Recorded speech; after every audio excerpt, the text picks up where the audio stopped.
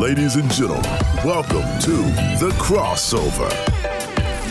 Starring Josh Johnson and Chris McGill. Featuring Kristina Thorson.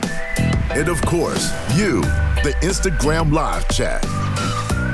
Now, sit back and enjoy this week's edition of The Crossover. Powered by Card Ladder.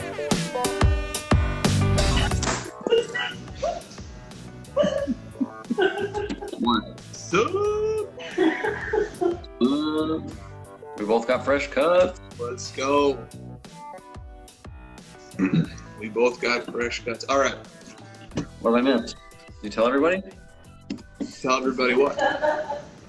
Uh, I don't know, your new background, for example? Yeah. All right. Well, yeah, we'll get to that very quickly here. So, first of all, welcome to the crossover. Today is August 19th, Friday. Uh, do you have mail days? Yep. Okay, you do have mail days. Okay, let's do that. Let's do mail days. Let's do let's let's get these mail days knocked out. It was supposed to come tomorrow, but the hobby gods were looking down on us. Nice. One card mail day, and it is. I haven't told anybody about this yet. Oh, nice, man. So this is uh 2005, 1952 style reprint, Topps Chrome, uh, gold refractor Chris Paul. So this is actually a rookie card.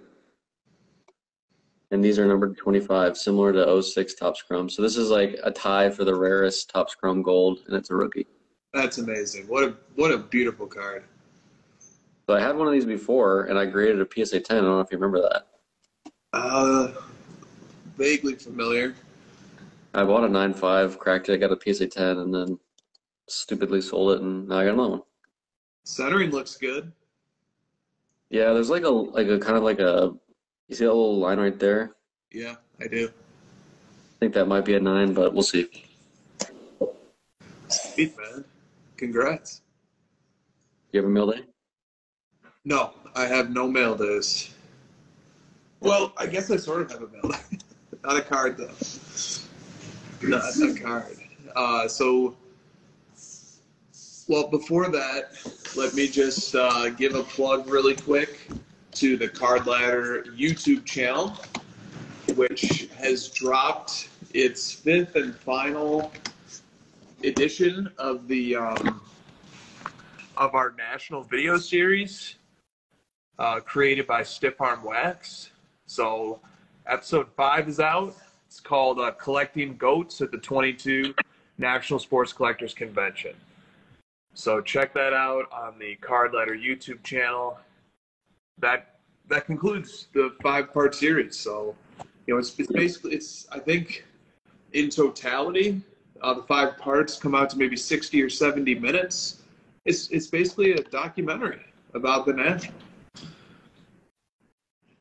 Yep. That's Another fantastic video. okay. And then our Kristina and my mail day is moving to to. Some people guessed Phoenix. Some people thought we went to Phoenix to live in your basement. We do like basement. I'm not that lucky. I'm not that lucky. We're not terrorizing Josh, at least not. we moved to Dallas, and uh, the occasion is to watch the Mavs this season. We got season tickets to the Mavs, and here I'll show you guys this. God, I got to be so careful. I get so scared when I go out here. Let's go. Oh, it's so fucking scary up here. Oh my god. Holy shit. Let's go.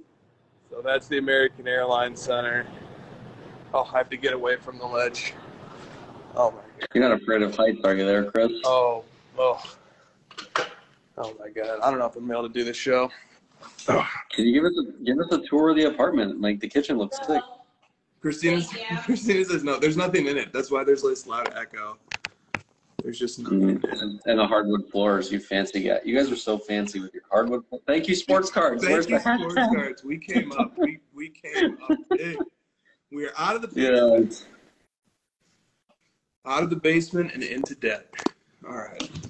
You guys are living large in Texas, literally, across from the stadium. Fancy new kitchen. Man, you guys are just like living that sports card influencer life.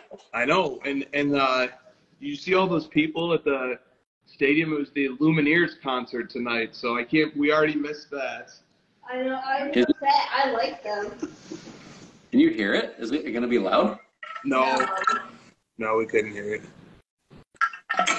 No, okay. You know what? You know what I thought of when I joined the live. This is funny though.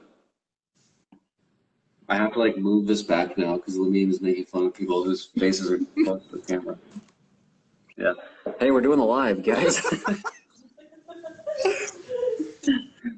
Counting down. Okay. Uh, what? Okay. All right. So one other thing before we get to questions. So many questions tonight. Uh, fantasy football. Have you drafted? Are you? Are you? Have you participated in any drafts yet? no, uh, I'm in two very serious leagues that have been going for a long time, and we always do them back-to-back nights uh, the week before the season starts because we like to minimize injury risk. Yep, that's the way to do it. I just last year you uh, tipped me off to Ja'Marr Chase, who I drafted in like the seventh or the eighth round. So I'm gonna need another one of those tips this year because I won my league last year um, on the strength of Ja'Marr Chase in part. and I lost my league on the strength. I, last year, my receivers were Ja'Marr Chase, Justin Jefferson, and CeeDee Lamb, and I somehow did not. You can imagine, though, the rest of my team was terrible or injured. Are you drafting Tyreek Hill if he's on the board in the second round? Nope. Well, I, I have one league that's a three person keeper, so I don't really have much choice over who I draft. And then the other league is auction, so I get all the choice of who I draft. I can choose anybody. Okay. Oof. All right. If you have the number one overall pick, who are you taking? Mm. Jonathan Taylor. Yeah. Yeah, he's the consensus top pick. Cooper Kupp's not a bad pick. Now the much much harder question: If you have the number two pick, who are you taking? Well, admittedly, I haven't done my homework yet, so I couldn't even give you my. Okay. I usually I'm more of a cram, you know, a, a, I study last minute for fantasy kind of guy. Enough said. Enough said. All right. Well, there's plenty of time to still talk about fantasy. There's still a few weeks until the season starts. All right. Uh, first question from cards underscore cards 08. Promote it on Card Stuff IG. I'm so glad you did this. Read what I wrote. What? Did, okay, hold on. He replied to you too. He I know. I was like, holy shit, he wants me to DM him. Oh, where is it? Hang on. I can't. Oh, here it is. Okay. Cardboard Chronicles replies, I'm on it.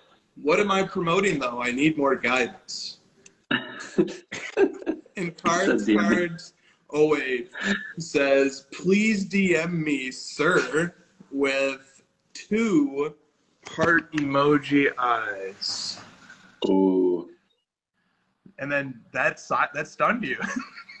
that silenced you. Dude, I just was like complete stunned, silent. I couldn't even respond. No idea what to do with that. I did not DM that person. All right. Well, great question to kick the show off.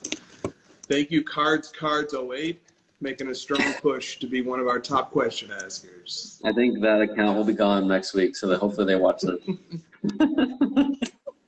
All right. Uh, Jam Collectibles says, please discuss high-end cards that are listed too frequently. This there, uh, thereby plummeting their value. All right. So, like one example of this that I was thinking of was the championship ticket Brady. So let me Mm. just, let me just paint a very quick picture for you. Um, this beautiful card, the championship ticket Brady, BGS 85. It sold for 1.2 million yesterday, which is a, a phenomenal price. Uh, but what's interesting about the sales history of this card is that from 2004 to 2020, it sold nine times. And then in the last two years, it sold nine times. Wow. So an asymmetrical distribution of sales. So basically, these nine sales are from uh, a 16-year window. These nine sales are from a two-year window. I think that goes to the question asker's points. What do you think? Uh, I mean, yeah, we talked about this last week a bit. Um, one thing I have noticed, I posted a bunch of stories about this, and this was kind of the theme again. Um, it seems that it's like rookie cards that are numbered to like the hundred range. You know, like it's like they're rare rookie cards, but not really scarce, especially in this climate where people are a little bit nervous, so they're just kind of selling over and over and chasing it down. But yeah, like there's a lot of factors. You know, one being that the auction houses are kind of putting pressure on people to sell that kind of stuff right now, and you know, people are getting frustrated that they bought it and they're seeing it go down, so they're kind of trying to cut their losses maybe and just and just move into something else.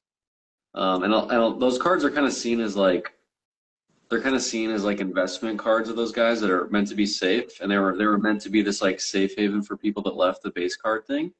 And it's like very disappointing for those folks that it's not, and they never really wanted to collect them. So now they're just kind of dumping them. That's the unfortunate truth for a lot of it.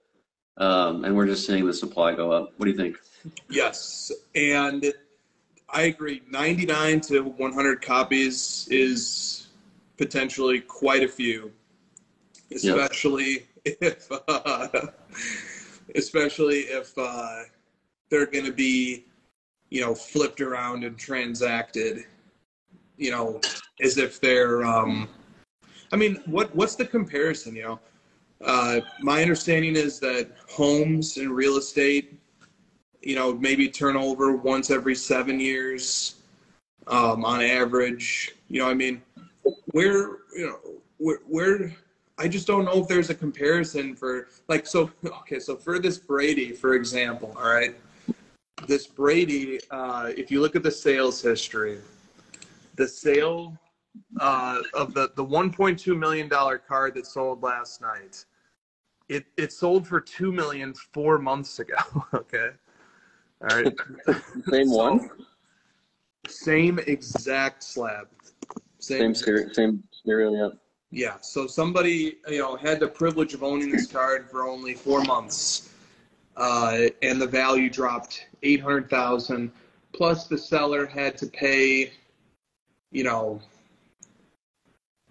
uh, I think the PWCC's fee is five percent on items over a million bucks, so they had to pay sixty grand more in fees if I did math right. So the seller ends up, you know, 860 grand lost.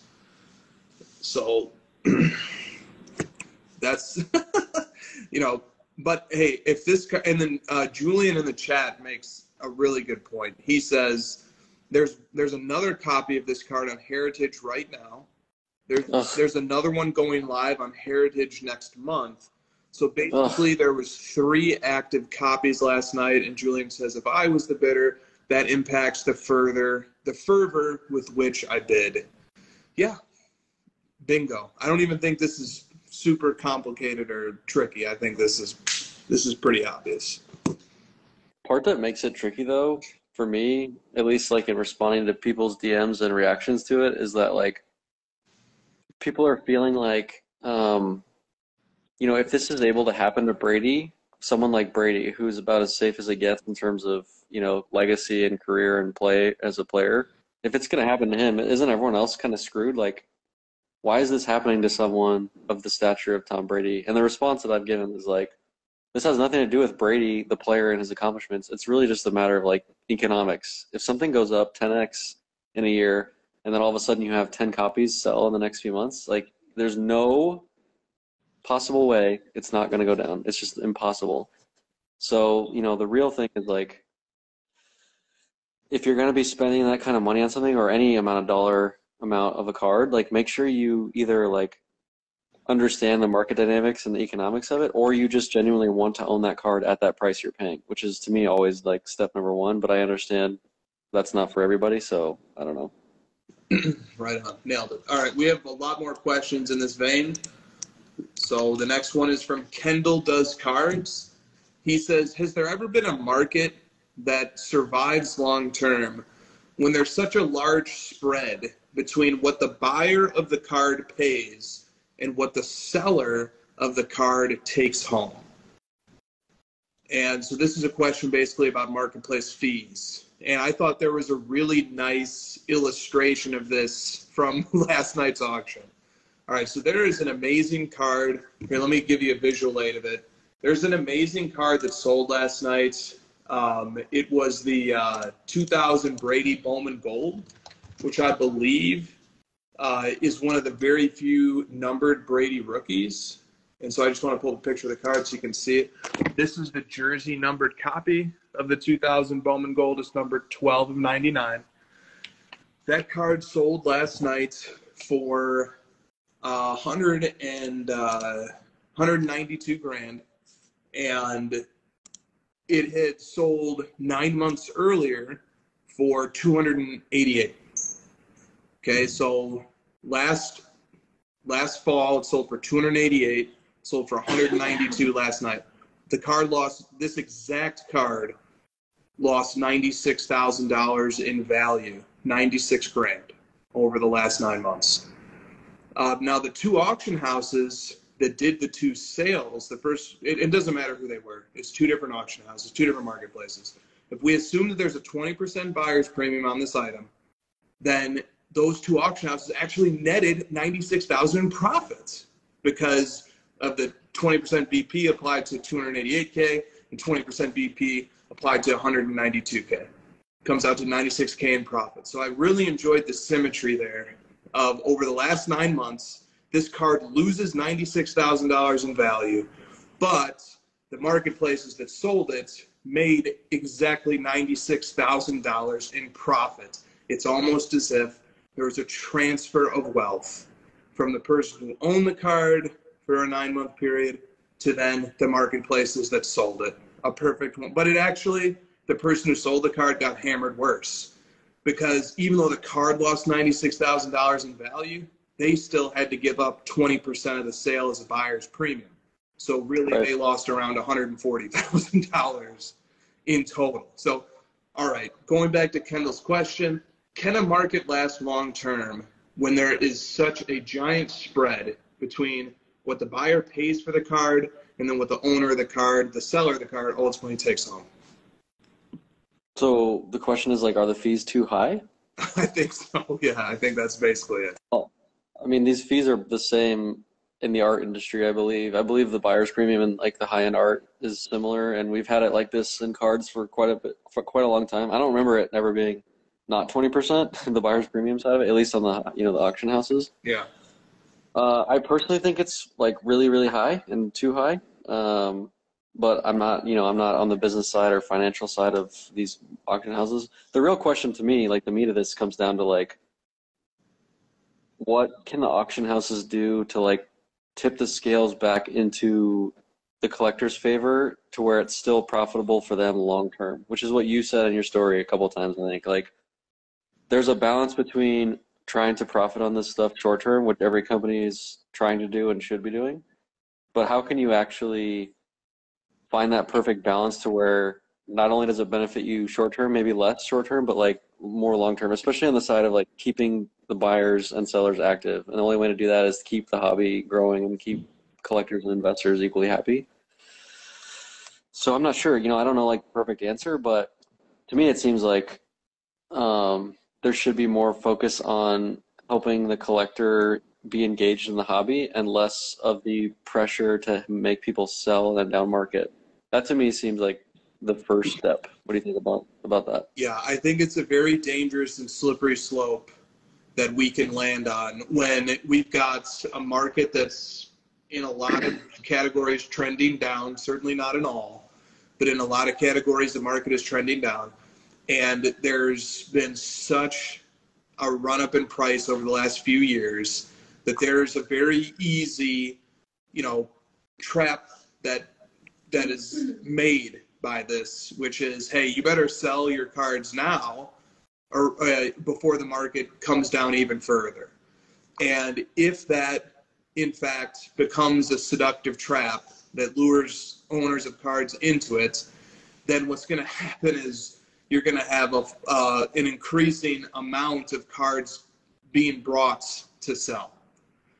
And that is only going to exacerbate and accelerate the problem that already exists because there already are too many copies available uh, of cards that you know. I, I think it's just you really have to put this into into context here.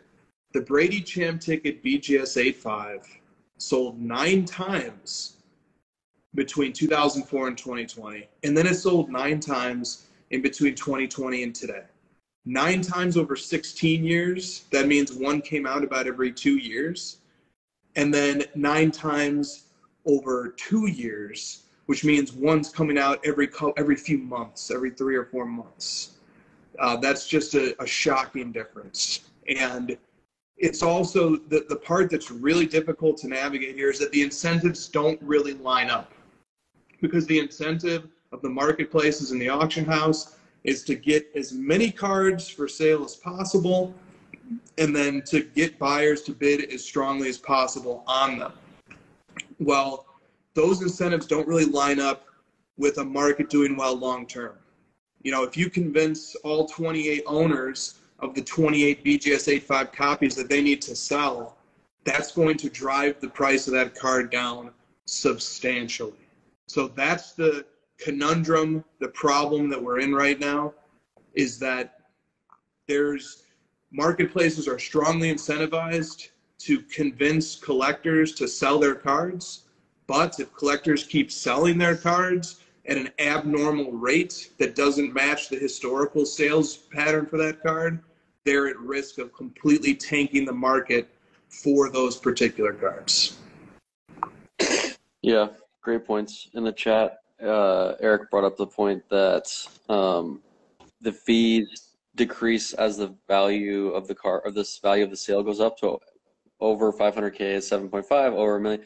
But i'm going to rebuttal and say those are for sellers. So again we're talking about like incentivizing the fee structure towards the sellers and the buyer is the one that has to take all the hit. And the buyer is what in my opinion the buyer is the lifeblood of the hobby. That's the person that's the collector, the investor, the person buying and continuing to go. And if I feel like I'm having to pay 20% to buy something, um, you know, it's it's a it's a big hit on purchasing cards and like continuing to to fill the hobby.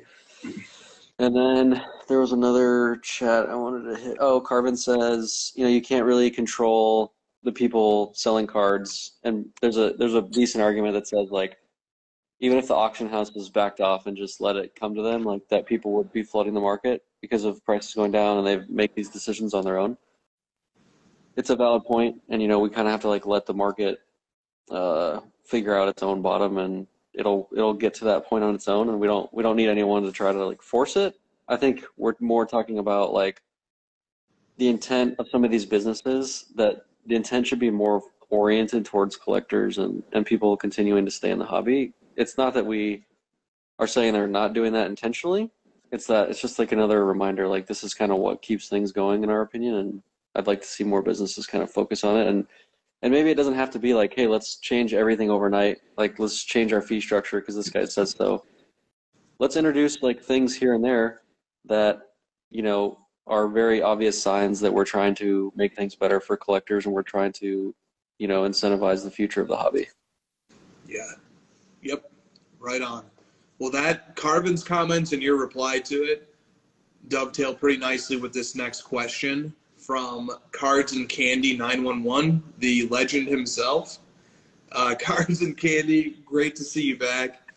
He writes, the people selling all their grails on PWCC and or Goldin. And, I, and just before I finish this question, can we just take notice of something? Listen to the tenor of these questions people are concerned about this. There is a strong perception that's been building over the last half a year to a year that the market is being flooded with too many copies of cards that normally don't sell that much. And I think that that is something in the just taking a step back and just notice this. People are concerned, people are discontented, people are people are using platforms like ours and others to speak out about it. All right, anyway, back to the question. The people selling all their grails on PWCC and or Goldin are people that bought them years ago, correct? So if that's the case, and all the people cashing out now, well then will it take another five to ten years for us to see those cards pop back up for sale again? because I'm sure that these big time half a million dollar purchases are not just to quick flip. So let me just give a quick reply to this because Cars and Candy, I agree with the sentiment of your post, but some of them are quick flips, man. As weird as that seems, some of them are quick flips, and we just showed one of them.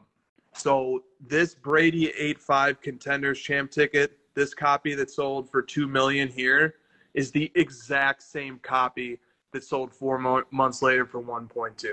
I'm not sure if the intention was to flip or why it got sold so quickly, but literally that's two of the nine sales of this card in the last two years are of the same exact copy. Somebody bought it and sold it super duper quick. Okay, go go ahead, Joshua. What do you think? Are are, are we going to see way less co- way less copies pop up after you know these these changeover and these turn hands and people have been holding them for five or ten years move out of them? Yeah, I mean, it's I don't know what the percentage is, but it's it's definitely not like 100% just uh, you know, people cashing in after 5 to 10 years of holding. I, I know that's not true because we have examples of it.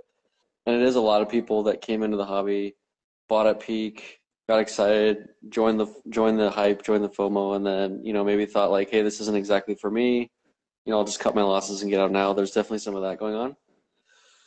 When will we see it? I mean, it's it has more to do with like what Carmen was saying, like we just got to find the bottom, right? It's just gonna, it's just a matter of um, when enough copies come out, the price is gonna eventually keep going down, and eventually, like, it's gonna find its bottom, and then either there's gonna be a combination of all the people that own that card now are into it for these new prices, and they're just gonna hold and wait for it to either go up or or now they're a collector, or um, or like the people who had it at the higher prices are just like gonna wait it out. Like they're just gonna wait for it to come back. So it's just a matter of like people waiting at these new prices and just holding and no longer selling. They feel like the bottom has been found.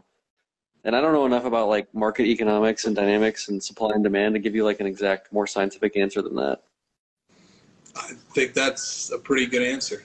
Uh, all right, let's go to the next question here. We've still got several more on this topic or related. Dude, even people in the chat are getting frustrated, Chris. Like, I know. You can, you can just kind of sense the tension of like, we're, they're sick of people like us saying the same answer of like, oh, it'll turn around eventually. We're not even saying that. We, we're the ones that are being realistic about it and seeing the supply continue to increase. And we're seeing signs that that, that supply is going to keep increasing because of the pressure from the auction houses. Exactly, and and that's a whether it's in the chat, I see it all over social media. You know, Pete, I it's in DMs and messages that I'm I'm sharing with people. Like people are very concerned, and you know it's it's uh, it's worth taking notice of because the concern precipitates action. People's philosophical you know approaches are being molded and shaped. They're forming new opinions. They're forming new perspectives on this industry, on collecting cards, on the hobby. And then once those new opinions are formed and solidified, they act on them and they act in accordance with them. This is, you know, a time here to uh, to really think about that and think about what impression are we creating on collectors. You know, it, this is a topic that branches off into social media in general right now, which I think is rapidly becoming a, a wasteland. And we've been talking about this, Josh, privately. Is social media right now? It's it's becoming corporatized.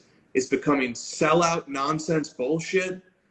The all of the fun things of the hobby that we like to do, those things are being converted into you know ways to sell people on a service or a product, and that's not how hobby social media became you know the boon that it is and the very popular setting that it is. It was organic but now this these things are being captured and converted. And you know people are building up social media accounts for the purposes of you know hopefully getting a you know a sponsorship or you know something like that. And that's completely fine. I support people who do that. I support people who are sponsored and who make sponsored content who are working hard in this hobby. But it's ending up to whereas hobby social media is being it's becoming focused on people and you know feuds and opinions and influencers and it's com- we've completely lost our way. We've completely and totally lost the magic and the things that made hobby social media special, the things that made me, that made you, that made us enjoy coming on Instagram. I don't even scroll my fucking feed anymore. I don't even scroll my feed to look for cards because all it's going to be is a bunch of ads and pump posts and nothing authentic, nothing genuine. It's, you know, I'm lucky if I find collectors that I like posting cards. It's just buried in a, in a pile of garbage. I almost want to issue the social media hobby challenge. Fun. Yeah, not yet. We'll save that for the end of the show. I, I love that you're fired up. I'm fired up with you. I'm fired up. I we need to talk through the we need to talk through the actual mechanics of that before I uh, start because it's, it's a little more complicated than that. All right. Um, but I did want to I want to build off your your rant because I thought it was really strong and and great point. Um, there's too much hobby content centered around the. This is weird to say. It's too much centered around the person and not like the cards and the content. I think you've kind of eloquent made a, a better eloquent point about that in the past, where is the content, is the feed, is the account centered around the person, the influencer, or is it centered around the cards and the content with which they're talking about, which is like, you know, the history of cards, or maybe you've got some sort of interesting take on the art of cards, or like there's all these different ways to create content about cards that isn't about you.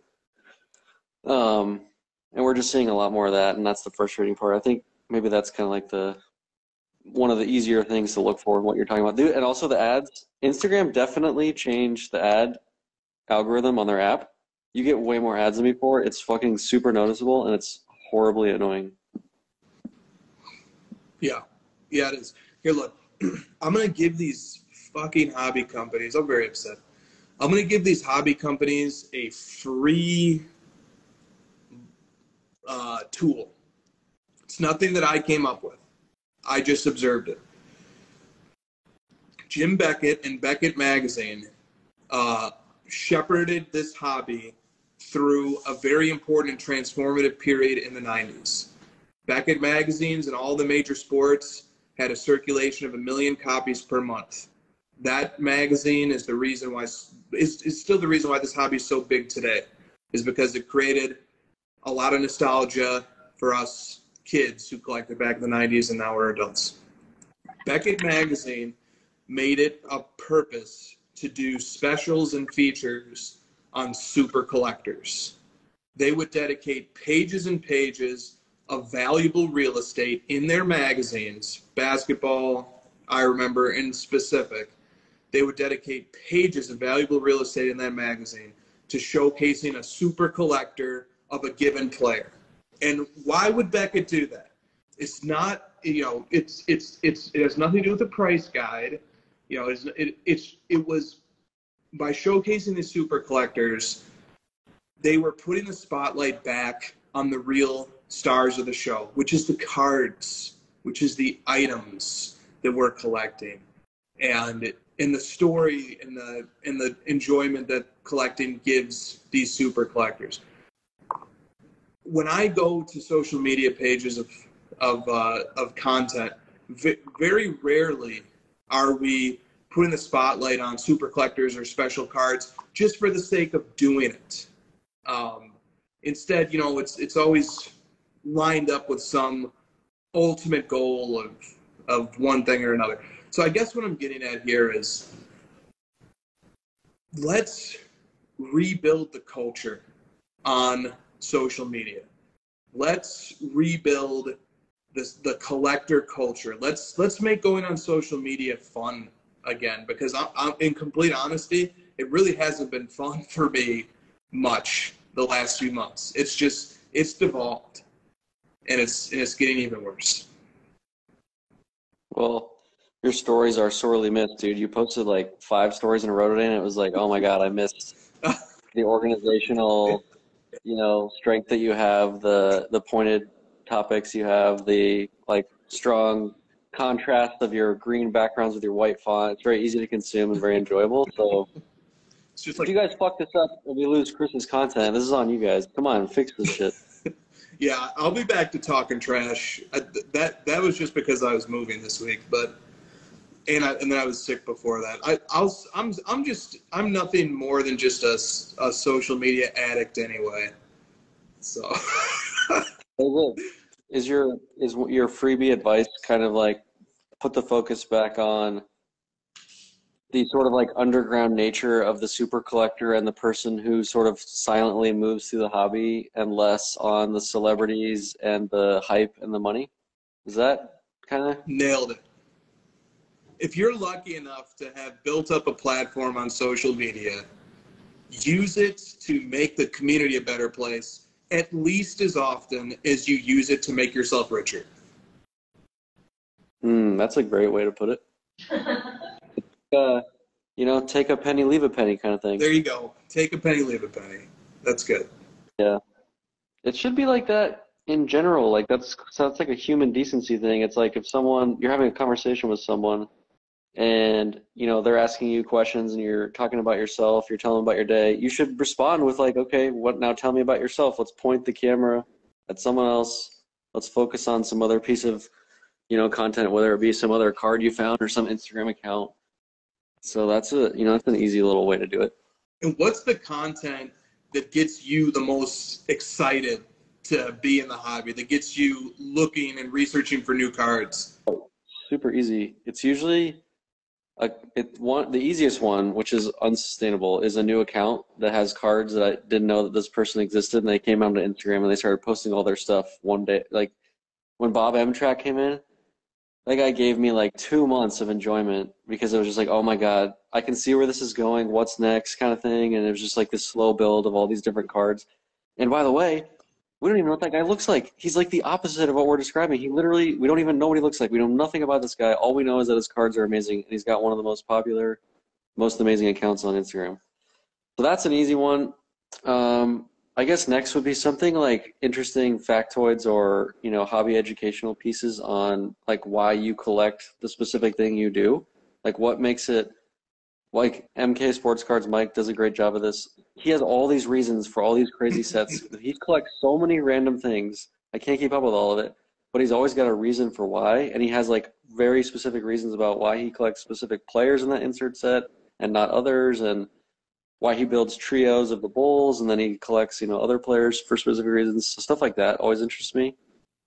Those are like the two, and both of those are just you know, literally you could just post pictures of cards, and you basically covered both of those scenarios. Yeah. Uh, I posted to my story a few days ago, uh, a bit ironically, the Ted Yates video from 10 years ago, where he's at, uh, he just got all of his Jordan Flair Legacy collections graded, and he just has them in, on piles in front of him. And that's the content that gets me so fired up. it's like, And the, you like the box thing too. yeah. The the one row where you just like reveal one at a time. Love it. Love it. It, it- and yeah, that that sucks me in every time. When somebody's just showing cards, you know, I just like, yeah, I I've it captures something in my uh, my lizard brain. Not to uh, not to build up Nat anymore because he doesn't need it. But I always like when he does his like player posts and he'll do like ten pictures in one post and you swipe through like his favorite ten cards of that player. Mhm. Stuff like that's cool too. yeah, Because you can always reinvent your own cards that we've already seen in different formats. totally, totally. Look, I used to be a big baby about people reposting cards. Please repost your cards. Uh, Now you're like bring bring it back. Bring it back. I'm, I was wrong. We need to see. Please, can I, I would do anything to take the reposts. Okay, here's that post that Matt did, and this post had me cracking up because I already knew what card was coming last. All right, you already know what card is coming last. He's doing the 98 Ultra Masterpieces. Oops. He's got the Patrick Ewing. He's got the Shareef Rahim, the Grant Hill. He's got the Tim Hardaway.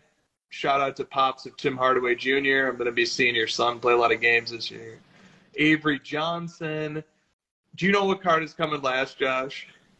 The MJ. Fucking this fucking guy. Tyron Look, he's- He thought that through. He thought if I put that last, you got to scroll through every single one. yes, he did. Guaranteed. And there it is. The MJ Purple Masterpiece one of one from 1998. Nathaniel Turner, authentic. Come on, bro. Let's see that PSA three. I don't care if it's got a fucking dent in it or a scratch or whatever. Show us that PSA I mean, two and a unless it's like missing a full corner, I want to see the grade. It looks fine. I don't know why it wouldn't grade like a six or, or at least. It looks I mean, great. even if it was a four, who cares? It's a freaking one of one. Show us the number. Dude, um, we should start making a hashtag no hashtag no more authentic or hashtag show us the number. All right, let's let's go. We got some more questions. We're getting. Let's not get too sappy here. Let's keep our. Uh, Let's turn the mood turn the mood a little bit. yeah, come on. Yeah, all right. Uh, Sasha P. Card says, "Live streaming of auctions is this the future of hobby content? What is more invigorating than watching bidding wars, experts share knowledge, and seeing millions of dollars spent on cards? I enjoy it more than breaking." I mean, Jake Roy started that a while back, a long time ago. We, we did that a few years ago with Jake. Uh, it's great content. It's fun for the people hosting it. It's fun for the audience. It's great for YouTube. Uh, it's great for like the YouTube platform. I mean, yeah. I agree. Are we ever gonna do one of those? There's a big know. auction tomorrow night. Well, no, it's not a big one, but it, they, they have much bigger ones. But uh, all right, in Cardboard Veritas says Probstein has a new fee, five percent. Will this help solve the huge hobby problem of excess selling fees? Dang, five percent is pretty dang. That's got to be the lowest in the industry right now, right? I think so. Well, uh, uh, uh, that's not lower than my slabs, for example, but True. perhaps the lowest For the auction. For an auction. For an auction that's on a. Let, let's qualify it this way: for an auction, one, and then two that's on a platform with a bunch of eyeballs, which is eBay. Yeah. I mean, Probstein clearly does a ton of volume on eBay, and eBay has rewarded them with lower fees to make this feasible for them. So this is kind of one of those examples where it's like, will this make Probstein less money in the short term? I'm, I'm not sure exactly, but it seems like it would. But it's going to benefit them long term because more people are going to want to save money, and it's a you know it's a, a win for collectors to save money. So if nothing else, um, you know, if you don't like Probstein for whatever reason and you prefer, you know, the Goldins of the world, um, this is, you know, competition, and competition is going to breed, you know, other companies having to match it, and maybe this will be ended up being better for the customer in the long run. This first little domino, maybe. Right on. All right, uh, and Mike Pinkerton fifty asks a big question. Uh, do you think that institutional money will keep pouring into the hobby if the prices on cards keep going down? Pouring? Mm-hmm. Yeah, I've noticed. Like, wouldn't it seem like institutional money would come in more at this point than it would when things are all rosy and going up infinitely? Dude, Josh, here's my question, man. What is the institutional? If you're good at yeah, go ahead. Yeah, uh, no, I just like if you're good at day trading, don't you buy low and sell high? Absolutely, but but that's that's my question. What is the institutional money being spent on? Is if the institutional money is being spent to build and and uh, staff out businesses, then yeah, I Mhm. think there's a real risk that it stops because we don't really need any more businesses. We've got too many businesses. Uh, we've got we've got too many. Uh, what um, and it- we have businesses that are being created to try and capture market share, uh, but not they're not stepping up to fill any felt need. Right. Um, Big difference. Big difference. Yes. If, now, if businesses were coming in and creating innovative solutions to problems that need solving, that's a totally. Then in, in those situations, you know, th- those are always situations that are ripe for institutional grade infrastructure related investment. But here, but if the if to Josh's point, if institutional money is being invested into the asset, into the card itself, then yes, there now now is a much better time to be buying cards than six months ago. For in, in the case of like Brady cards, for example. Yeah, I mean, I don't know. We might consider ourselves Warren Buffett and Charlie Munger, but those guys would probably tell you if it's cheaper, that's better to buy than when it's more expensive. It's because it's you're going to make more money. especially if you believe in its long-term proposition. So Since we're giving out free tips, that's a free tip for everybody. yeah, and I what what would uh what would our ment our mentors Warren Buffett and Charlie Munger say? Say, Look at the fundamentals. Look at the fundamentals. Look at you know the the history. And those guys probably would not like sports cards if we're just being completely honest here. But maybe they would be more of the Keynesian uh, point of view, because Keynes was a was a even though he was one of the brilliant economists of the first half of the 20th century and completely shaped the school of thought. Um, his preferred asset of choice was art. He felt that art made for a great investment for many of the same reasons that a lot of us believe cards will be, you know, will will do quite well over the long haul. So maybe they would like collectibles and things of that nature. Maybe they wouldn't. But uh, anyway, all right. Yeah, I want to. Can I do one more Yeah. little mini rant? I've talking about the too many businesses. Like as an individual who's been in the hobby for a long time and who knows, you know, I know how I function in the hobby. I know what, what tools I need and such. Yep. I don't need that much. You know, like I I need a place to grade my cards accurately, decent price. Like I need a, I need a so I have that. I've got PSA. They grade my cards. Yep. I need a place to buy and sell cards. You know, we've got plenty of marketplaces. And then I need and then we needed a place to like track our collection, so we just like built that ourselves and price stuff. Yep. And I need supplies. Am I like what? So there's just been this like popping up of companies that the goal is to make that company successful and make it money for that company and build a company versus like what is this tool doing for the collector? What is this business? How does this business propel the the industry forward? Because if it doesn't, then eventually like people are just going to stop paying for that thing. Absolutely. Okay, uh, Drake's PC says to follow up on some of the story posts that I made earlier today. Uh, what should hobby businesses do to prioritize the collector's well-being? So that's that's a great question and a great follow-up. And you know what? You know, one of the things here, we're not in the uh, we're not in the world of giving free advice to companies that are making money hand over fist already.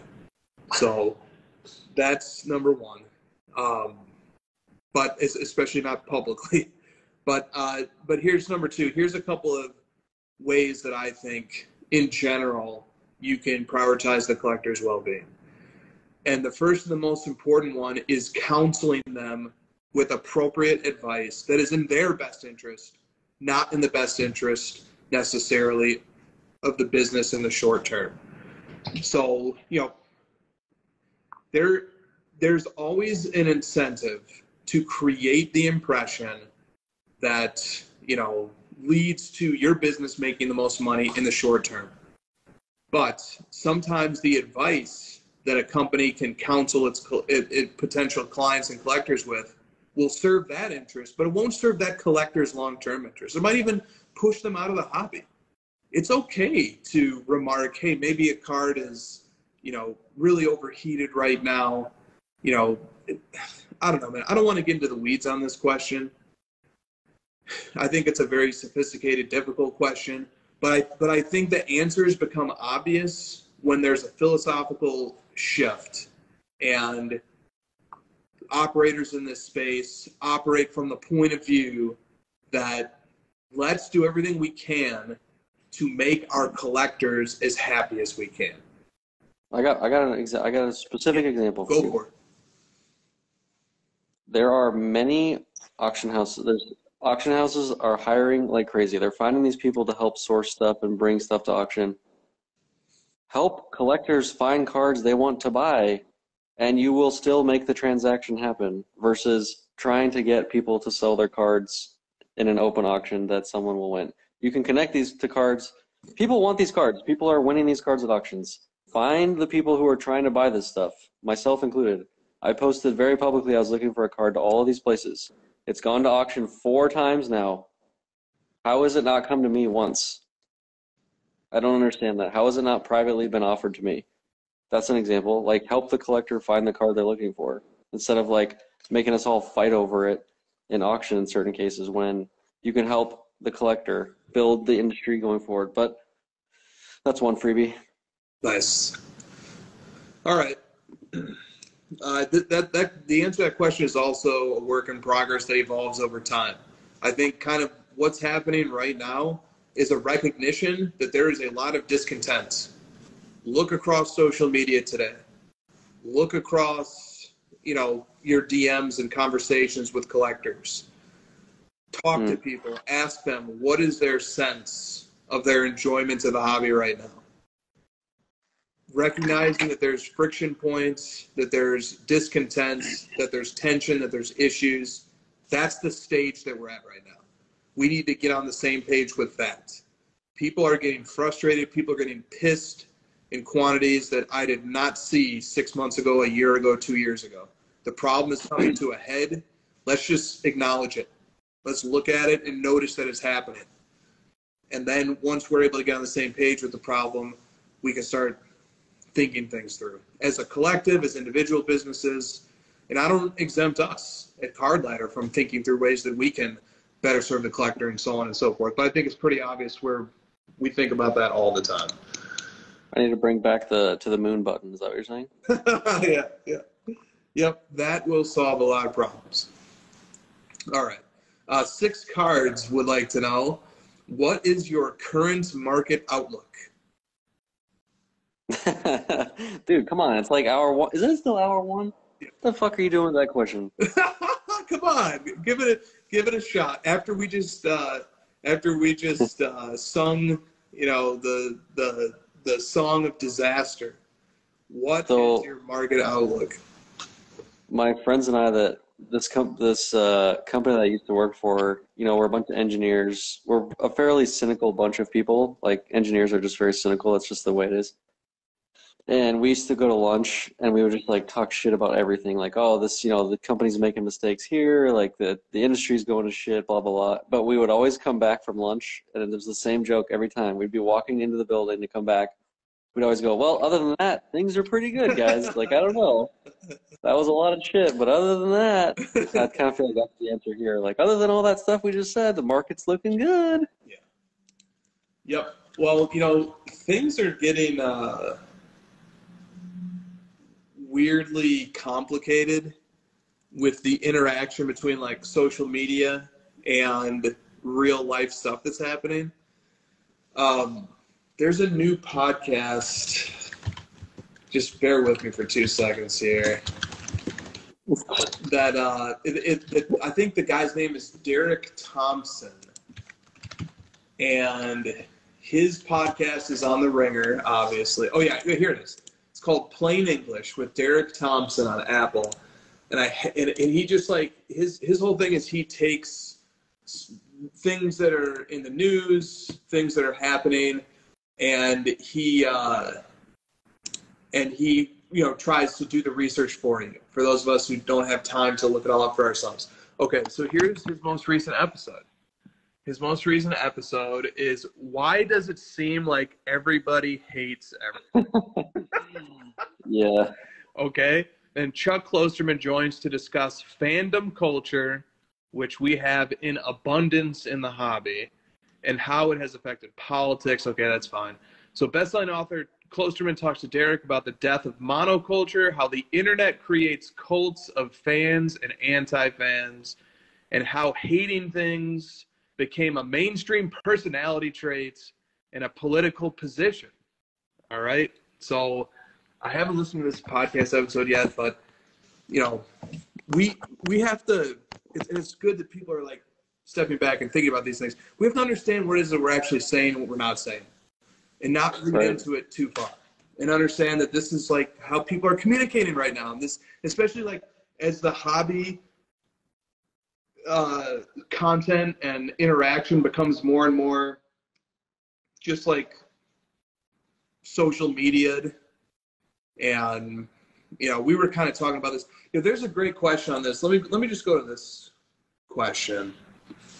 Um,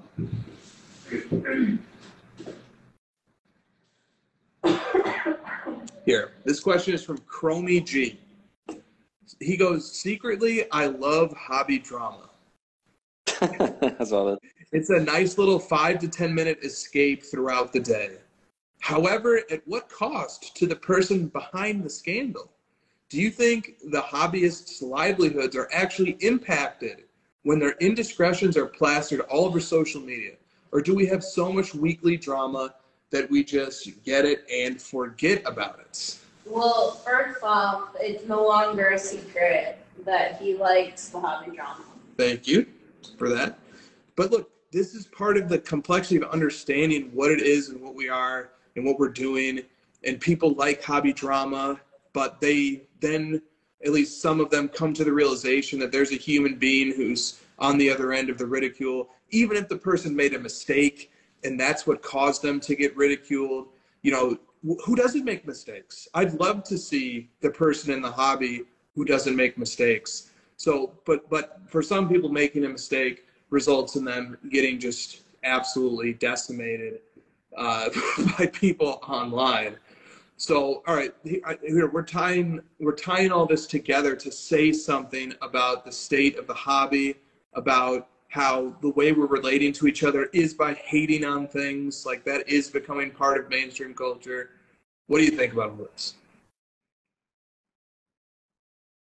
Cancel culture has found its way into cards where we're like waiting for someone to screw up so we can jump all over them and make content around it and watch them burn to the ground. Which proves um, that there's something natural about that impulse. Like that impulse is an outlet. The fact that like, you know, oh, we're gonna just, you know, tear down somebody. That impulse it exists now in the hobby as we've become this social media centric community, but it's been in social media centric communities for a long time. Yeah. I mean, I usually approach this topic from the point of view of balance. Like when the market was just going bananas a year ago, I feel like me and you were kind of one of the few people like, hold on a second, this stuff doesn't make any sense. These cards are high population, everyone pump the brakes. And then when stuff started going down in the last few months, we've been here talking about, you know, the positivity of what cards you should be looking for in terms of your collection and how to like pivot into more fun things. We've always tried to take this approach of like kind of doing the opposite of the current feeling of the market. This one though is different because now we're talking about sort of like the fun part of it, the enjoyment in terms of the social media and the the uh, community aspect of it. And when that gets screwed up, then we have a real problem because now our fun is being screwed with, and we're not just talking about prices, right? We're not just talking about the market moving.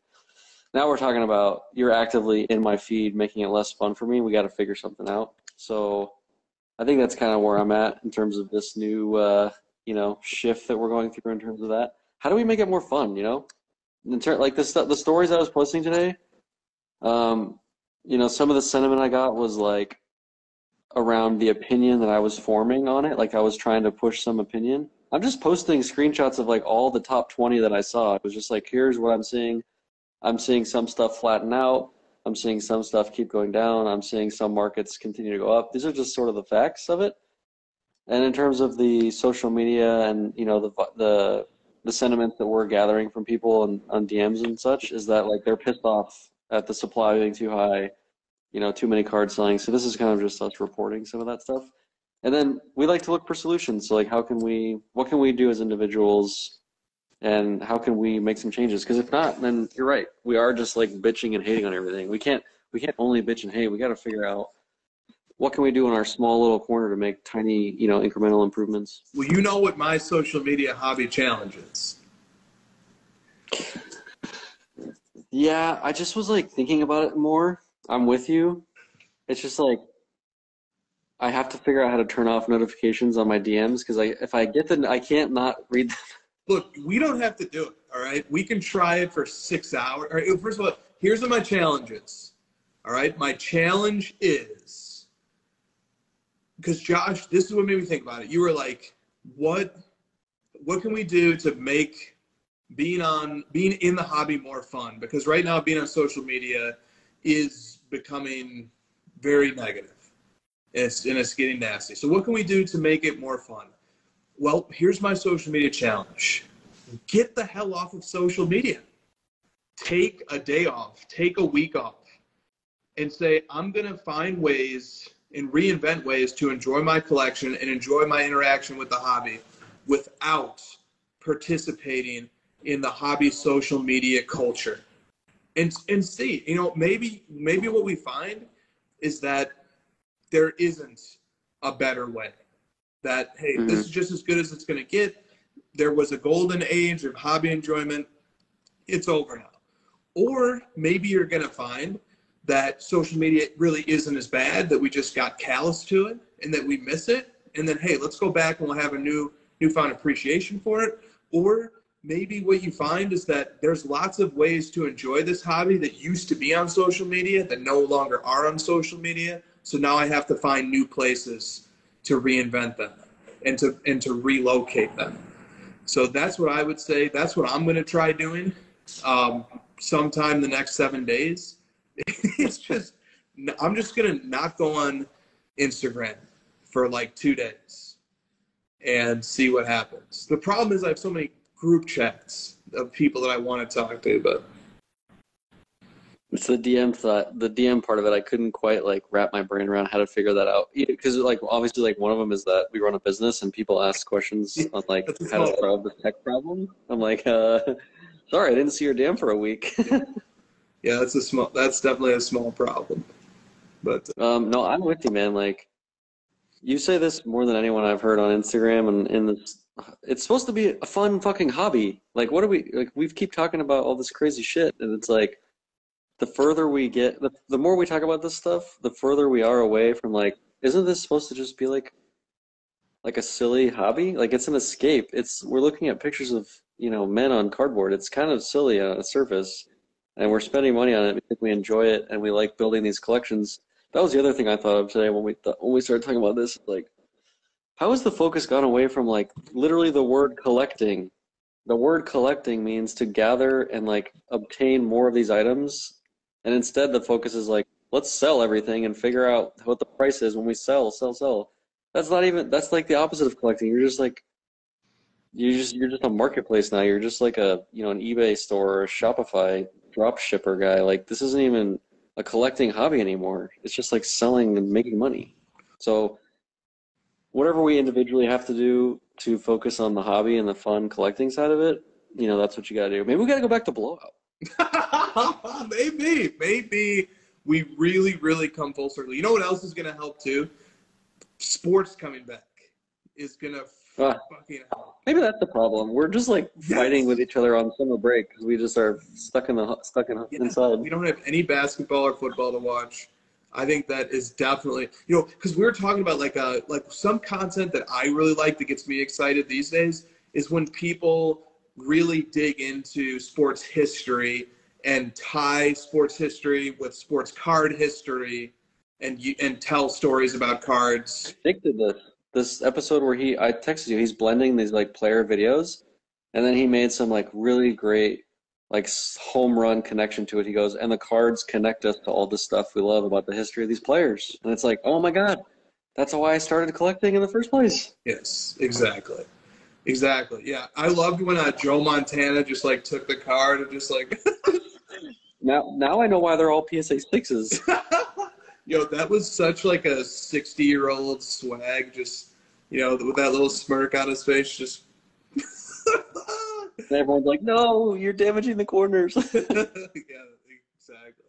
Well, so this question came in from Brendan Ryan seventy four, who's like an artist who makes really cool like digital cards of hobby personalities. He says, "Do you think the people in the hobby take themselves too seriously?" Can you explain that one and then answer it first? Because I don't know where to go with that one. Well, maybe maybe that's what we've been doing is just taking everything mm-hmm. too seriously, and mm-hmm. uh, you know we're just hey maybe we just step back and we just laugh about this and say yeah, you know I don't know I just too taking yourself too seriously is when you you know you, you maybe don't have you know maybe I don't have an ability hypothetically I can't laugh at myself or you know, mm-hmm. if somebody says something bad about me, it's you know it's very harmful to me. I'm taking myself too seriously. I'm not just I'm not relaxed. I'm not, you know.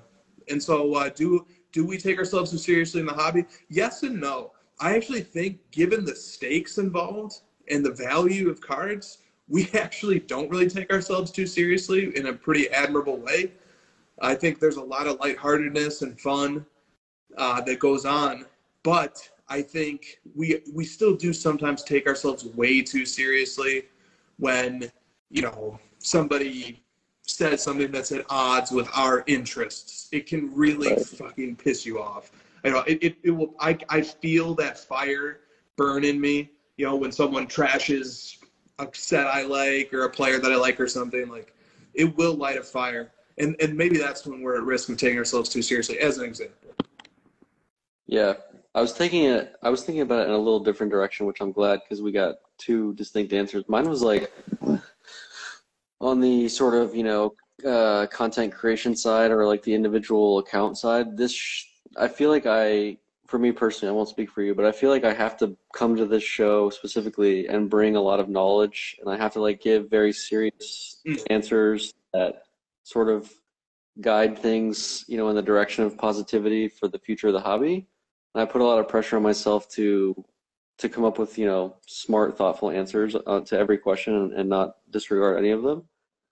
And you know, we've talked a lot about maybe maybe sometimes we just don't know the fucking answer, you know, and we should make this more of a more of a relaxed show like it has been traditionally. And maybe the last week we've got a couple weeks we've been too serious about it. So that, you know, it's good. It's a good like self-reflecting thought. Yes. And so, hey, look, sometimes it's good to just ask the question. Sometimes it's good to just pose the issue. Um, that that's one of the ways that we can, you know, set expectations too high for ourselves is by expecting to have the answer to everything. It's to, it's Right. it's more than okay to be. In in fact, it's admirable in its own way to be able to say, "I don't know," or "Let's see." I'm not quite sure right now. especially on this like auction house thing because it's like you know it's easy for me to say just lower your bp and like take less money Mhm. But i don't know if that's the right answer for you know the future of the hobby what if that like sends auction houses into a tailspin and we lose the trust of market it could be like this you know butterfly effect thing i haven't thought of Mhm. and i'm in the wrong you know so that's a tough question it's really hard to say like you know, let's just make these quick snap decisions and just lower BP and make it better for collectors. It's just kind of like you said, we're throwing the question out, we're discussing it, trying to figure out maybe there's some new angle we haven't thought of. And the chat always comes up with stuff we haven't thought of. While I'm chatting, I feel like the uh, chat comes up with better solutions than I do, anyways. Totally. The chat is great. All right. Uh, so the chat says we need more Frasier talks. See, they just want more like pizza and Frasier and office jokes. what if that's really the secret? What if like we just shifted into discussing like Friends and Frasier and food, and all of a sudden our viewership is like in the thousands, and people. people So it's like we're like the uh, you know the rug pull of the ticket people. yes, we, we we captivated this audience of collectors just to pivot into very low, Media. low serious this pop culture discussions. Yeah, people are trying to like, all right, top five movies, quick, go. Take the bait. Yeah. All right. So back to this question from six cards. What is your current market outlook? If you have one. If you don't have one, you know, that's totally fine too. Well, I kind of wanted to hear your take. You gave me a little bit of a nugget last night, and just in terms of, um, you know, what you're seeing in the data, as far as I'm not saying like, oh, just pick the best performing indexes and the worst. Maybe just sort of like anecdotally what you're seeing. Yeah, here's what I'm seeing for sure is cards. Um, look, I, I think that uh, despite our best efforts with our product and service and others who provide archives of sales histories that go back far in time, um, despite that, I think people who are new to the hobby didn't really have an understanding of the velocity with which certain items could potentially sell based on how many exist. I think the Brady Champ ticket is a great example of this. I think the 96 Chrome Kobe Refractor is a great example of this. I think the 86 Fleer is a great example of this. I think the 03 Chrome LeBron is a great example of this. There are many other examples. I think people were so bullish on cards for good reason. But the cards that were available when they were feeling super bullish in the spring, in quarter one and quarter two of 2021 in particular, the cards that were available when they're feeling so bullish are cards that seemed iconic, seemed important, but that just have too many copies and just come out too much.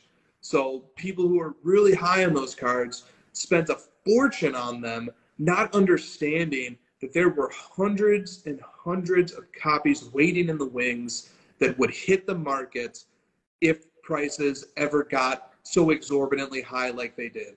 And that's why you see stuff, even like a Kobe that's numbered to 150. That's why you see stuff that can go up to 250K all the way back down to 26K over an 18 month or a 19 month period. That's why you can see things like that happen because people were so freaking bullish on cards for good reason in Q1 and Q2 of 2021, but they bought the wrong damn cards at those prices. That's what it boils down to. And that's partially just because the right cards weren't available and or there wasn't an understanding and a depth of hey, if you're breaking out a quarter of a million dollars to spend on a card, you probably want to be putting that money into a card that you can feel comfortable. One of two things is true. Either one, it's never going to come out for sale again unless you decide to make it available, or number two, that the other people who own that card with you, if, if it's a if it's not a one of one, that those people are hardcore long-term collectors who are not going to dump off the card as soon as they have a chance to make a 20% edge or 20% gain on it. So these were theories and approaches that had not been fully developed in early 2021 that are being fully developed now. And so that's why you can look and like the thing that we're pulling our hair out and not understanding is like why is Trevor Lawrence's NTRPA logo man at 240K with BP on Goldin right now. And it's because it's an overcorrection in that direction. Now it's like, okay, I'm so bullish on sports cards. I want to pour so much money into them because I love them. so the right card must be, you know, I'm sorry, I said logo, man. The right card must be Trevor Lawrence's Platinum Shield one of one NTRPA. So let me just throw all the money at that one. And I look, I can't blame people for being super bullish on cards, but you know, we're just and, and I think that's the closest approximation to the right place to just throw a, a dump truck full of money at. But I think there's still lots of signs that people are super bullish on cards, but that they also recognize they might have made some mistakes. Excuse me. Yeah, you got me fired up. Um, I did a, I did a Google Trends search. You know what that is, right? Like what people are searching. Mm-hmm and I did it for NFTs, and it was literally like a freaking triangle, like up and then down. Like people cared about it, and then they didn't care about it because it's basically back to where it was. And sports cards, I did the same thing, and it's like it's like a flat line. It just has like the sports card industry has so many people in it that are in it for genuine reasons, where they actually love the space, and it has so much history built over decades and decades that no matter what we're talking about in terms of like you know these cards going from 250k to 25k there's still so much money and so much genuine interest in this space that right now what we're seeing is just money moving around to different areas. It's moving away from that specific type of card and it's moving into you know zach wilson and trevor lawrence shield cards. It's moving over into collector cards. And it's just like there's still so much money being spent on these cards. Like we're complaining about something you know dipping across the board but then we've got people spending 45 grand on a freaking Terry Bradshaw card. There's a $30,000 Drew Brees sale. Maybe people are just moving into prices that make more sense for them individually. Like, I can't afford a 200 grand Kobe rookie anymore when there's 150 copies. Let me go buy, you know, the next step down and go get this player instead and spend 20 grand and get five cards of his. We're just seeing the hobby evolve, and I think, like, the positive spin on all this is just things are changing and we just, you know, we don't know where it's going to go exactly, but I'm sure it'll be fine and recover long term. The other thing I wanted to say off your really uh, great rant is I don't think that this investor persona or this like fund building thing or whatever is ever going to actually like figure it out. The reason I say that is like it took me six years to build my Penny Hardaway PC the way it is currently constructed, and that's because I had to. You're never going to be able to replicate exactly the card that the collector wants because it takes way too much time and effort and you actually have to care about it that much to be involved in something for six years. And you're not going you're just like i have a million dollars i need to spend and i have six months to spend it. It's impossible to figure out exactly what collector card we are talking about because that's what people always ask us. What card are we talking about? What is the collector type of card? It's the one that takes forever to build it's the one that keeps you here long term takes you six seven ten years to build. You can't get it in six months with a million bucks. You can't just like you know muscle your way into a collector space. You just can't because you're trying to you're you're fighting too many dynamics too many people that have been in it longer than you too much uh, you know in-depth knowledge about different spaces. You can only know the super surface level basics if you're trying to spend a million dollars in six months and that's like what's the best rookie card of this player in the highest grade oh there it is at auction i'll buy it you know oh it's going to come up again because if it was available for this auction that means chances are it's going to be available at several auctions hmm. love it Benor 14 Sports Cards had a question has a question on this topic. He goes, for those of us who are in the hobby for the long run, do you ever look at your current collection and think, if this is how big and great my PC is now after just five or six years, imagine what it will look like 10, 20, or even 30 years from now. Such a great like reset of everything we do. Like just think of think of that whenever you're feeling annoyed, right? It's such a great point. Mm-hmm. Yeah, I love that question. yeah, uh, dude. Honestly, Benor, um, I think for some of us, we have the collection because of the way that timing worked out. Mm-hmm. We have the collection we expected to have 20 years from now. We have it today, and it's it's yeah. actually um, you know, odd. it's odd. Um, it's, it's it's a strange place to be, but dude, no lie, I my collection is uh is a very and, and my Kristina's collection is a is you know there are collectors out there who have been doing this for so long who just like if their collection were to be put up next to mine, the shadow would just cast so far over our collection that it would be humiliating. But even having said that, we love to look at our collection and take a satisfaction in how far it's come. And uh, and and you know, I, I find myself looking back more than forward. I find myself actually yeah. just thinking about the way the collection's gotten to the point that it is, and you know, hope that it continues to get better. I've I've never really actually sat there, at least not recently, and thought to myself, what will my collection be like 10 years from now? Have you thought yeah, that? You have no idea. Yeah. No, it's too far. It's like, far. dude, 10 years ago, I wasn't even thinking about cards. So it's just way too far. I don't, I don't work in this like, you know, Gary V three, five ten year life outlook way. It's just like, what am I, you know, what's the next week or two? I just, I don't like to think too far ahead like that. I, I like look at my stuff, my current collection in Flickr, an awkward amount of times. It's like how many times can I look at these same pictures? And like I really, I really enjoy my current PC. Totally. you mean your showcase? Yeah. and so uh, I, yeah, um, oh damn, that broke my concentration. I don't fuck. I forgot. I had something that amused me, but uh, okay. Great question, Benor. Oh, I don't even think uh, I don't even think ten minutes in advance. You you, you know. yeah, I can attest yeah. to that. You can attest to that. Hey, what's for dinner tonight? Kristina, what's for dinner tonight? I mean, yes. yeah, pretty much. So like, but but I do think there is value in the yeah. forced exercise of saying what might my collection look like in ten years from now. Yeah. Maybe I need to do a little bit more of that thinking uh, and it would focus some of my activity.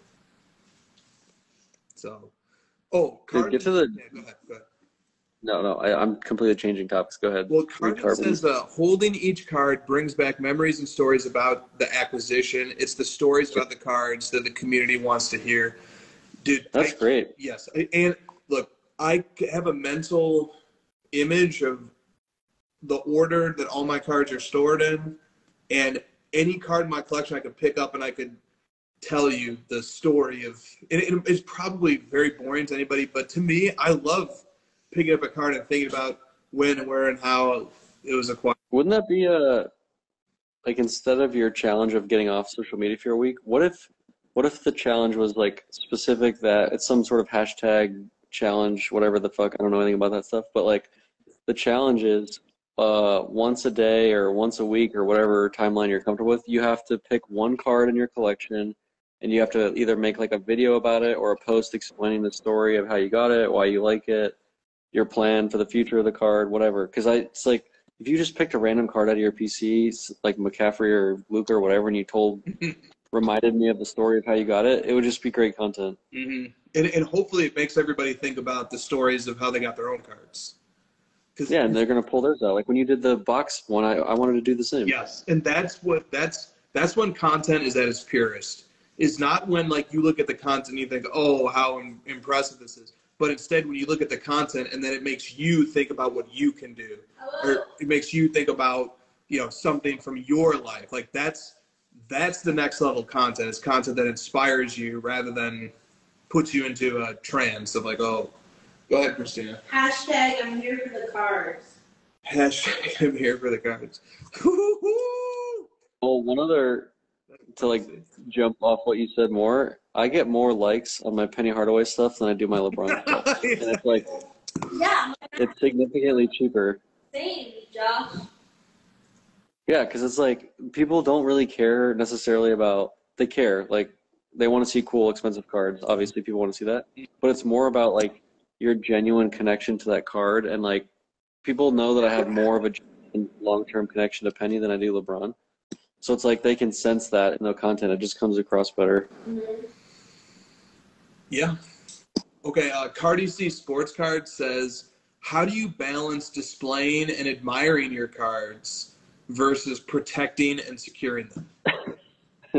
I know what path you take. You just choose protecting like all the way. All the way, all the way. If, and if I want to enjoy a card, I'll make it a whole ritual. You know, I'll I'll I'll I'll, bring, I'll retrieve them all. I'll bring them all out. I'll unbundle them all. You know, I'll do something like with it that's a task. You know, like I'll you know I'll make it into a production. Well, the longer you have to spend unwinding all of the layers of protection, the more you're going to appreciate the card when it's unsheathed. like finally, four hours later of pulling off all these sleeves, and there it is. That's hilarious and true. Yeah, that's so. What's your answer? Uh, it's that. It's like the protection. I don't do quite as much as you guys, but I do like having the layers of separation I don't care because I just like that scenario that people come up in their mind of like, oh, my friends are gonna come over and like admire my wall. That never happens, and it mm-hmm. won't happen. And mm-hmm. it's it's actually cooler if I do have a friend over. It's cooler for me to like go and like bring it to them in a box and have them like shuffle through. It just feels more like natural and organic that way. Anyways, it's more fun. Agree. I, that's why I never like. Yeah. That's why I never like jerseys because it's like I have to. You're making me look at this thing on your wall. Same. I don't like the way cards present in displays on walls. I never have. Yeah. I never have. No. Okay.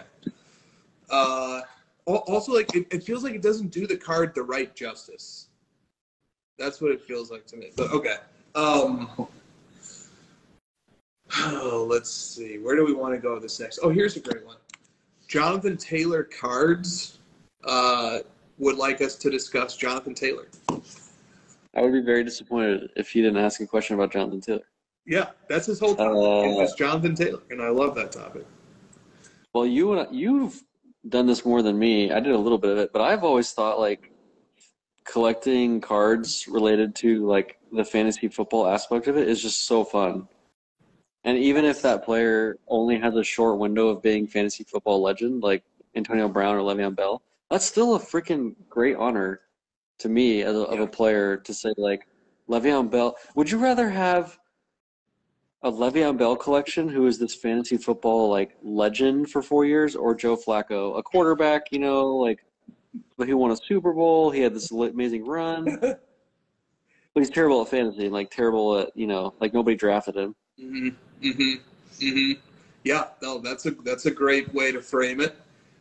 Um, dude, fantasy football, uh, intertwining that with collecting is great for the real nerds of all nerds. You know, it's it's great for those who just conceptually want to just fucking overanalyze the hell out of shit. You know, that it's it's it's tailor made for us who just wanted to Jonathan Taylor. What's the it's Jonathan Taylor made. So you know, and and and then in the NBA, you know, there's so many fun stats. I'm sure baseball and hockey are this way too. There's so many fun stats that you can dig into, and then you know, collecting mixed in with that, you know, it just it really, it's it's like this horrible harmony of a little bit of gambling and risk taking, a little Yeah. bit of math and analytics and analysts analysts you know analyzing things collecting pride fandom. It just man it really brings all that stuff together. But i i, I know it's not for everybody though but i love it. It's exactly where I would wanna just- live. the way that I think about it, especially coming from Jonathan Taylor cards, I would much rather have an amazing PC of the best running back in the NFL, Jonathan Taylor, than like, you know, uh, you know, Tua, like the 18th best quarterback, where Tua's card prices are like 20x Jonathan Taylor, but he's like the 18th best. I'd rather have the best running back in the whole Cooper Kupp. I'd rather have the best receiver PC in the whole NFL. That just seems more appealing to me. And the connection that people have to fantasy football, I know for me personally at least, is so like strong. It's just there's been two decades of you know this obsession over like the stats and the the connection to wanting to watch every single game and red zone and you know league pass and all this stuff. And it's all because of fantasy football. And now we have cards and, yet another outlet to obsess over fantasy football. I might have to get back into that stuff. It's it's it's really fun. Especially once football kicks off this year dude you know how much hype we're going to be about football again. Oh yeah. I can't wait to see uh, scott hanson. Uh, oh never taking a bathroom break. Just going so hard. You know, it, it- you know when the fantasy and football cards thing concept first got started. You know, th- there was at least among some a belief that like, hey, it, the market should follow fantasy. So like, hey, if a player does well, then their card should go up. But if they don't do well, then their card yeah that's not that wasn't Yeah. the connection that it never Right. that that's not the connection we're looking for the connection we're looking for is like oh fantasy helps quantify the legacy building and the achievements that athletes are Mhm. doing and then that's transferable to cards because we want to own cards of athletes who are doing great things and who are building legacies and who make us become fans of them Remember when that was a thing for like a, sh- a decent amount of time last year? Was like, I want to know that when I buy a guy's cards and he has a fif- a forty point game, that I'm going to double my money overnight, and I send it to get graded, and then I sell it and I get rich. And it's like, fantasy football would just be a you know a wet dream for that scenario. Right, right, exactly. uh, yeah, and collecting is is something different than that. There's a, there's a layer of that. Too, Yeah. you know? If if a Right. player does well, then their cards logically should become more difficult to obtain because less people want to sell them, more people want to own them. But there's other market dynamics that come into play, you know, in terms of like, well, but people see selling opportunities when playing Right. well, and so get Well, I I like the thought that you've built with the Le'Veon Bell, which is like he's not active. I'm not prospecting. I just am collecting off of this, you know, period of time that I have nostalgia for, which was watching this guy dominate fantasy football. I think that's a, the more that's the more logical connection to cards, in my opinion. Right on. Okay. Uh, Investors Hobby says uh, exquisite football, maximum patches. That's the topic that they would like to hear discussed. I know nothing about maximum patches from exquisite football. There's a Calvin Johnson rookie. I think it's called Maximum Patches, but I might be wrong on that. I uh, I don't know as much about the question asker as either. Dude, in the chat, Jamaal Charles, Chris Johnson, those names just like bring a flood of like fantasy football heaven back to my brain. Mm. Yeah. LeSean McCoy. Oh man, he was a monster for in fantasy football for like a good three or four year stretch. Oh. Did you find anything? I found eight sales in all of Card Ladder sales history that matched. Maybe he meant like, maybe he meant like just big patches in football, like the best patches. Oh, you know what? I think it's because it's called maximum patch rather than maximum Ah. patches. All right, let's see. here. Oh, there we go. Now I have over a thousand results. Okay, so here I'll just show you a random card. Uh, Oh wow. oh, okay, that's a Jeter. We're looking for football to discuss football here. People are just naming fancy football legends in the chat. This is amazing. Dude, fantasy football is awesome, man. Larry Johnson, Maurice Jones-Drew, Andre Johnson, Brandon Marshall. This is great. Well, Tom Brady has some nice uh, maximum patches. Doug Martin. There's a name. Oh man. Here we go. This is more what I'm looking for. Okay. Oh, that's exactly the one I'm thinking of. That's the one I was thinking of. There's a Calvin Johnson of that. Nice. Dude, this is Marshawn Lynch. Four of five. Maximum patches from, I, I suppose, what is this, 2007? 2007. Marshawn Lynch, exquisite, platinum, maximum jersey, rookie patch auto. So I'm totally ignorant to these cars. I'm learning about them literally on the fly. Dude, what a sick card though, right? Dude, what an absolutely sick card of Marshawn Lynch. Sold 300 buck. 330 bucks a few weeks ago. See, this is what I'm talking about. Like, yeah, sure, this card's never going to be worth like two grand, so like it makes no sense for investors to jump on and buy these cards. But that's like what collectors don't think about. They don't think about that. They're just buying this card because they want it in their collection. It's just a different. It just never is going to line up, you know. Yeah.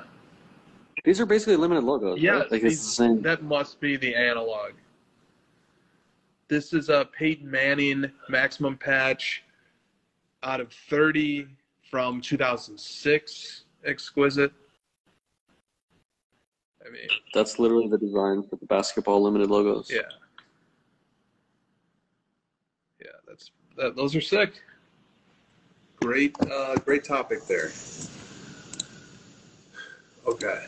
Um, also, there may be some investment properties to cards like that. To be honest with you, just because like one of the trends I've noticed over the last few months is like, uh, dude, like here, you know, uh, this I'm I'm biased on this because I pay close attention to these stupid cards. but uh, dude, come on. What a great endorsement. These stupid cards. Look, you'll see what I mean. Look at it. This is a Chris Webber, like 30 years after he was drafted. Obviously not a Pioneers card. Prism Black. All right. It sold for $2,500 Wow. In- okay. in July. So, and, and like, dude, like that's that's not you know that's not like an invest, like, and it's still there. Okay, so it wasn't relisted. I mean, or it probably wasn't relisted. I'm just I look at some of that. and I say, you know what? When Chris Webber cards are taking leaps like that, like why why not a Marshawn Lynch? Um, Yeah. You know why, why people you know collectors fuel this thing, man. And if, if something comes on collectors' radar, because dude, think about how many people exist who were like big into c- cards in the '90s and then were not involved so much in the Yeah. 2000s and the in the early 2010s. Like that's so many people. I'm that's the first time I'd ever heard of that set. So I don't know. Yeah, there's always something, man. Like, I need to figure out my next football player. Let's think about that. Dude, how about someone from 2000 Exquisite who has like sick cards like that? like Calvin yeah, I mean, Johnson. I, Calvin Johnson's my favorite. I think I need to redo my Calvin Johnson PC. He's freaking a beast. His name is literally Megatron. It's like one of the best nicknames ever. who else would you be looking? My other one is my other one is Todd Gurley. He was like when he came into the NFL, he was coming off a massive knee injury out of Georgia. But I just remember watching like college tape on Todd Gurley. And then when he got drafted to the Rams, I was like tempted and I did in a couple leagues. I was taking him in like the first round for his rookie year. I was like, this dude is gonna be so good. I'm telling you, like his combination of size and speed, and clearly like, you know, he broke down over time and his knees gave out. But man, he was so fucking good. He, I saw some stat that was like he still has the most touchdowns in the NFL since like 2017 or some crazy stat like that, and he's basically like missed the last two years. That's nuts. How much was that card? So this is his 2015 National Treasures NTRPA True out of 99. It's a PSA 10, which is just sick. It's just perfect. And it sold in November of 2018 for 975 bucks, and pegging it to the Todd Gurley Index, it's worth about 1400 today. I still have some of his stuff. I have like his Prism Gold rookie out of 10. I think I paid like 50 bucks for that. You still have it? I think I still I have a binder of like football stuff, and I'm pretty sure I still have that one. And I had the Topps Chrome Gold rookie, but there was 50 of those. I definitely remember the Prism Gold. I remember having that one. No way. That's sick, dude. Yeah, because it was like, dude, I, I was buying Todd Gurley gold cards in like 20. That must have been like 2018, I guess, 2017, and they were like so cheap. I could buy whatever I wanted. Okay, so look, this is the Gurley rookie Prism Gold autograph PSA 10, sold last month for 130 bucks.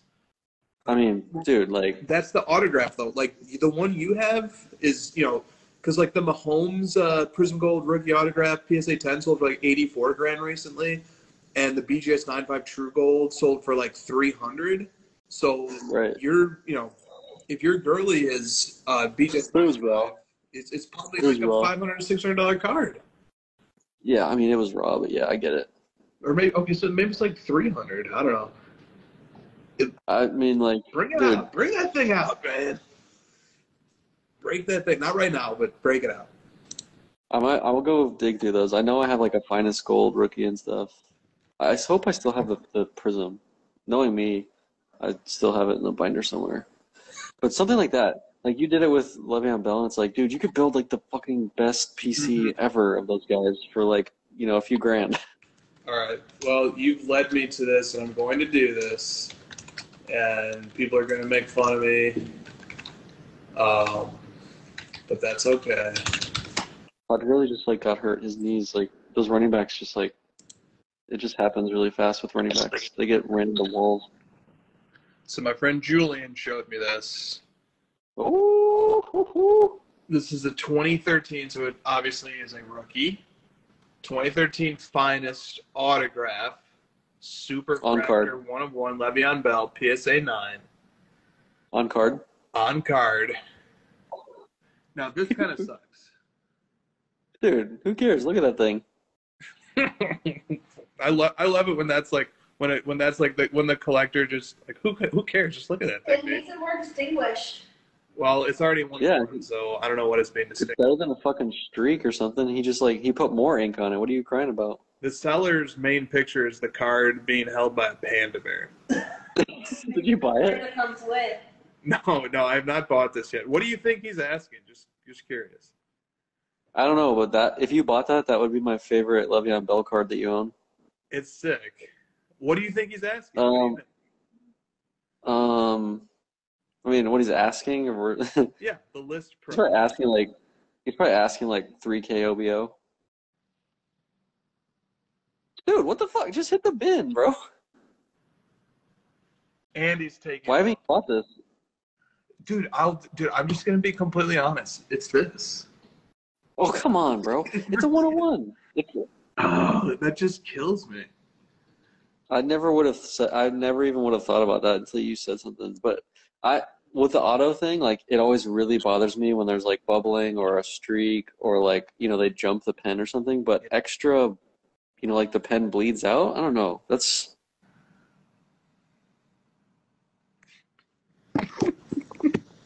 And you know, that card's I fucking think, like, fire, man. Super fractor fight. You know how much I love finest. You're just giving me all the tingles. dude, if it didn't have an autograph, I'd have bought it already. Yeah, I know. I know you would. Yeah, you're right. I get it. So The chat's gonna buy it in like five seconds. Oh, oh, Julian's still in here laughing. Yeah, Julian, you should collect a commission from this guy if it sells. On a card like that, I don't want to like downplay seven hundred fifty dollars because that's a lot of money.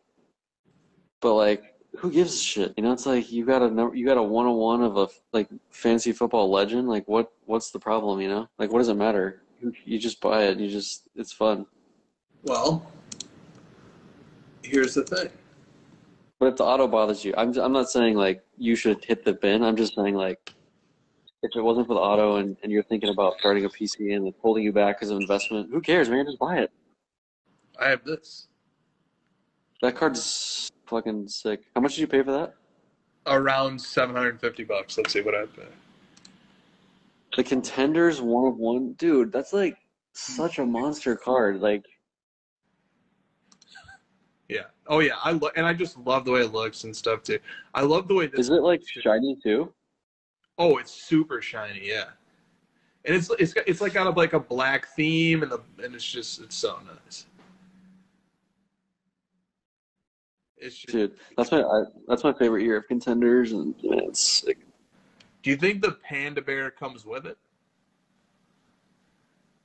I mean, the, one of my favorite parts about buying and selling sports cards is shipping it is so easy, and that panda bear would greatly diminish that, you know, positive. True, true. You're not you're not crushing that into a a flat rate envelope.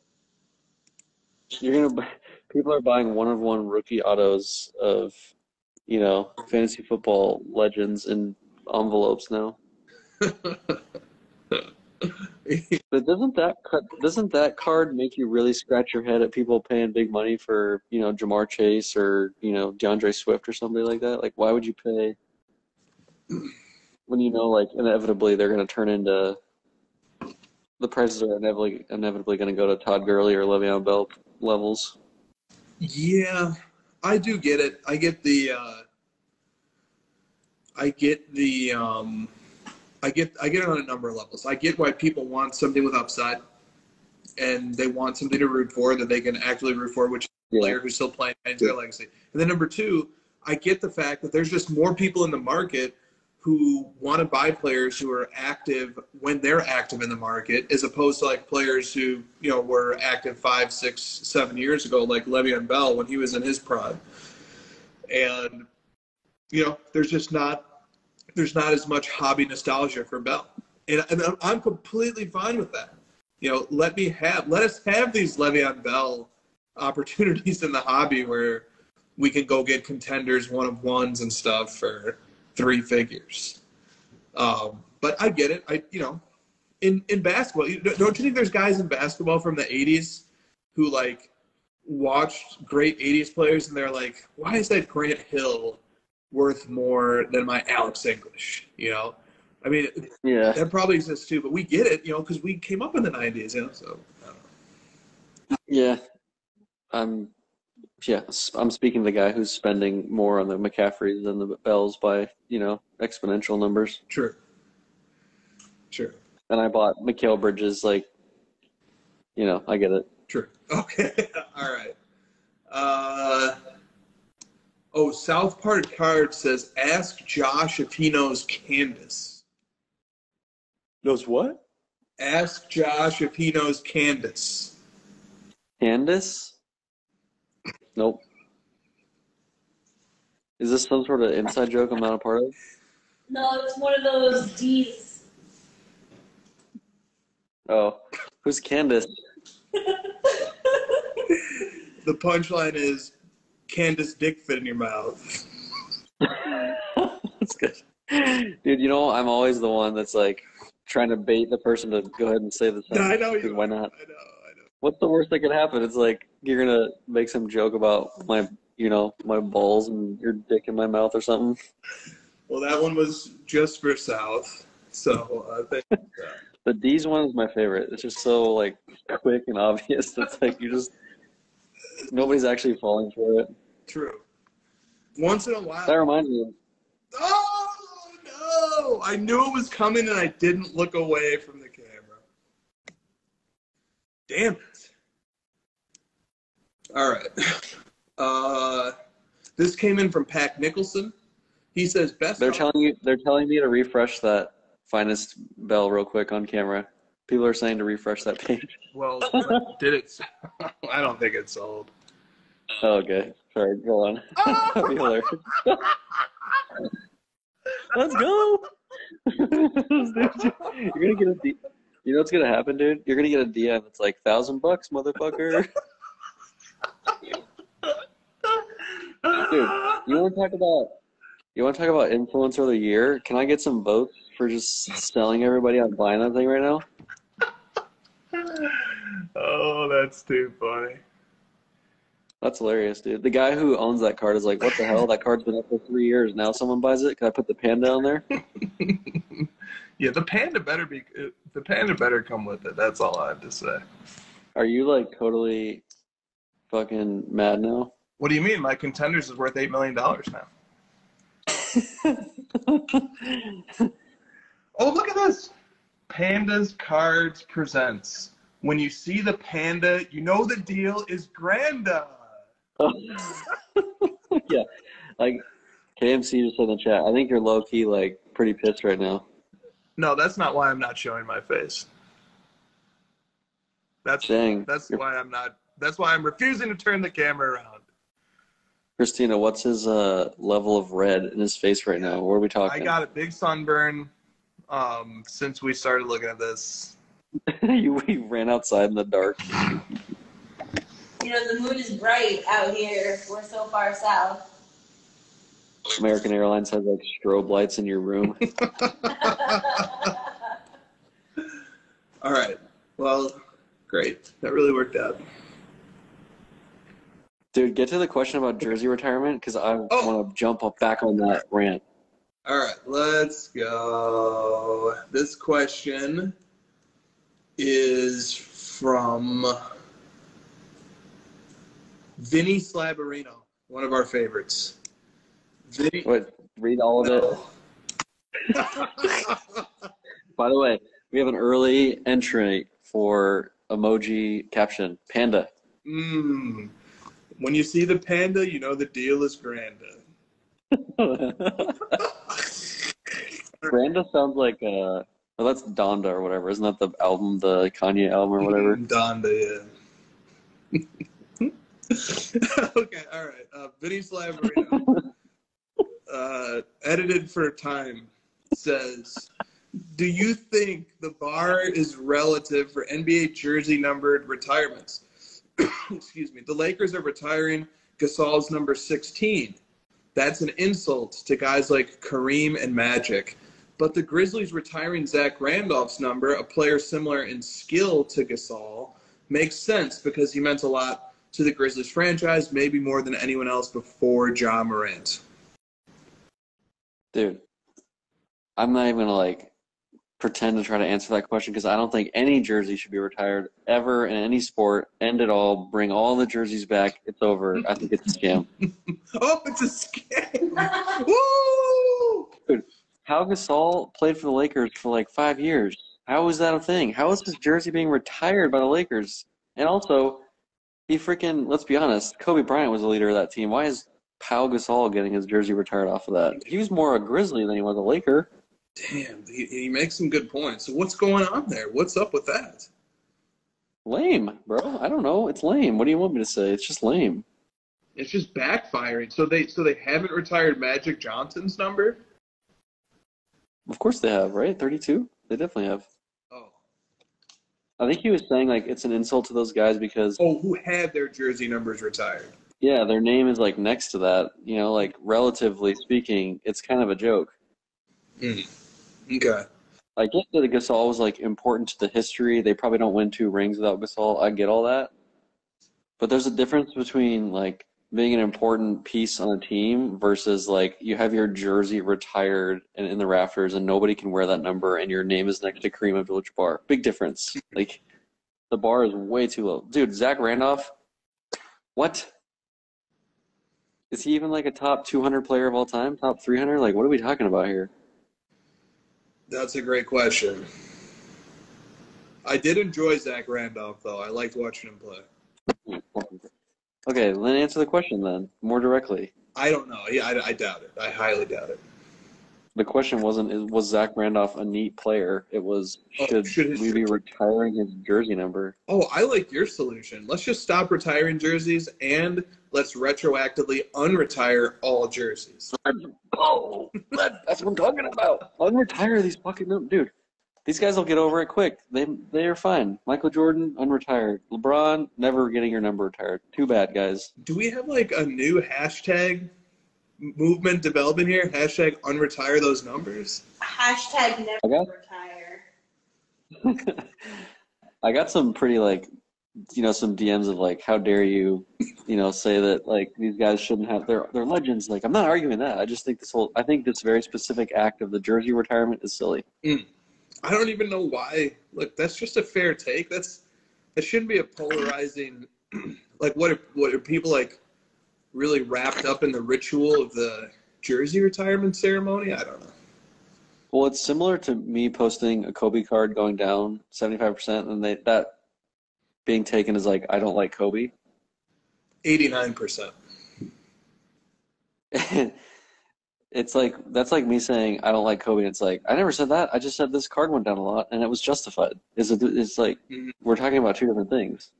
Yeah, and then on that note, it's not an indictment of the card. It's Exactly. an indictment of our silly market that's still learning and I don't know, finding its way. Yeah, w- My other favorite. go ahead. Yeah, go ahead. No, no, no. I would no go. Ahead. No, my, my other favorite one is like when I post the picture of like the Topps Chrome LeBron going from 40 grand down to, er, or did it get to 50 or whatever, down to seven. And people are like, yeah, it's because of his stupid tweets about politics. And I'm like, oh my God, what? It's because of the supply, and like all this market dynamics. There's nothing to do with this. Well, actually, do you know why Curry's RPAs have gone from uh, 750 to to 450 to 500, even though he won the championship?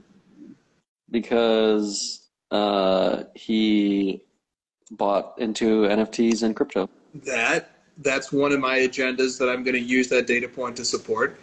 And then also, I think people just hate this. People just hate. People hate that, like- and that's why his card market's going down. People are I think you're piling- dollars. You're piling on to the silliness of this troll. I like it. I'm here for it. I'm, I'm always in the spirit of piling on. you're just like, you're the guy that jumps in at the very end and just If you stop piling on when things are actually doing, like when NFTs are doing bad, you're like, it's Oh. enough, guys. Yeah, Let's that's true. pile on. I don't even think about NFTs anymore, to be honest with you. Like, I was like, has anything ever gone down more than this 89% loss of this card? And Josh was like, yeah, dude, NFTs. I was like, oh, you're right. I forgot about those. But isn't that the ultimate diss that you forgot they existed? I guess it is. They didn't. They never did exist. That was the point.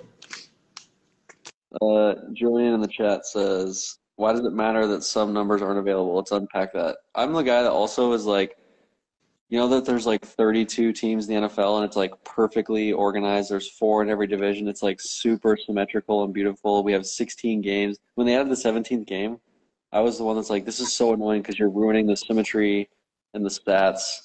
It's the same with the jersey retirement. Like, I have to think about all these weird extra things. I just want to pick my favorite jersey number on my favorite team. I don't want to have to think about all these weird, stupid, made up rules of like jersey retirement for specific situations. Well said. Also, don't worry about Julian. He's a guy who uses the verb unpack metaphorically, and he's not talking about a suitcase. Julian is part of the coastal elites, and uh, there's nothing we can do about it. So, Let's unpack that. all right. I've been doing a lot of unpacking this week, literally, not Yeah. Figuratively. Yes, I have. I've been doing a lot of unpacking. You took a three-hour walk around our new neighborhood while I set up the house. That's for safety reasons, Kristina. He's thinking about canvassing for security reasons. This is smart. Exactly. He Exactly. sent me pictures of the Chipotle that's a block away. Yep, I knew. I, I thought of you, Josh, when I saw that Chipotle as well. Let's go. the odds of me making a trip out there just increased drastically. I, I know. I didn't want to give you too much FOMO all at once. Oh, look at Well, this. you should- you're like Sorry, go ahead. You're like we're here. Come hang out with us. There's season tickets, and I'm like, yeah, that's great. Where's the nearest Chipotle? it's very close. Kobe 81 23 1996 13 says Hoj can unpack these nuts. that's the comment of the night. All right, very good. Very good. You Oh, said we'll get to you said that uh, you said that moving was horrible, right? Oh, It's not as fun as when we were in college. Is that true? it is true. It is very, very true. So the chat has noticed your major upgrade in terms of internet speeds. Yeah, my- people say people like, oh, did uh, his camera got clear? Like the same phone. I don't get how that's a good thing, but we'll go with it. Me either. Everyone's gonna, the crossover viewership's about to like start tanking now. the meme's like, Well, that's why- close, way too close.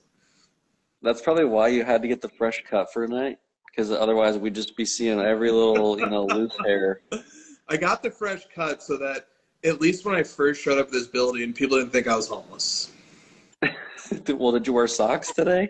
Yes, I did. Oh, but funny story.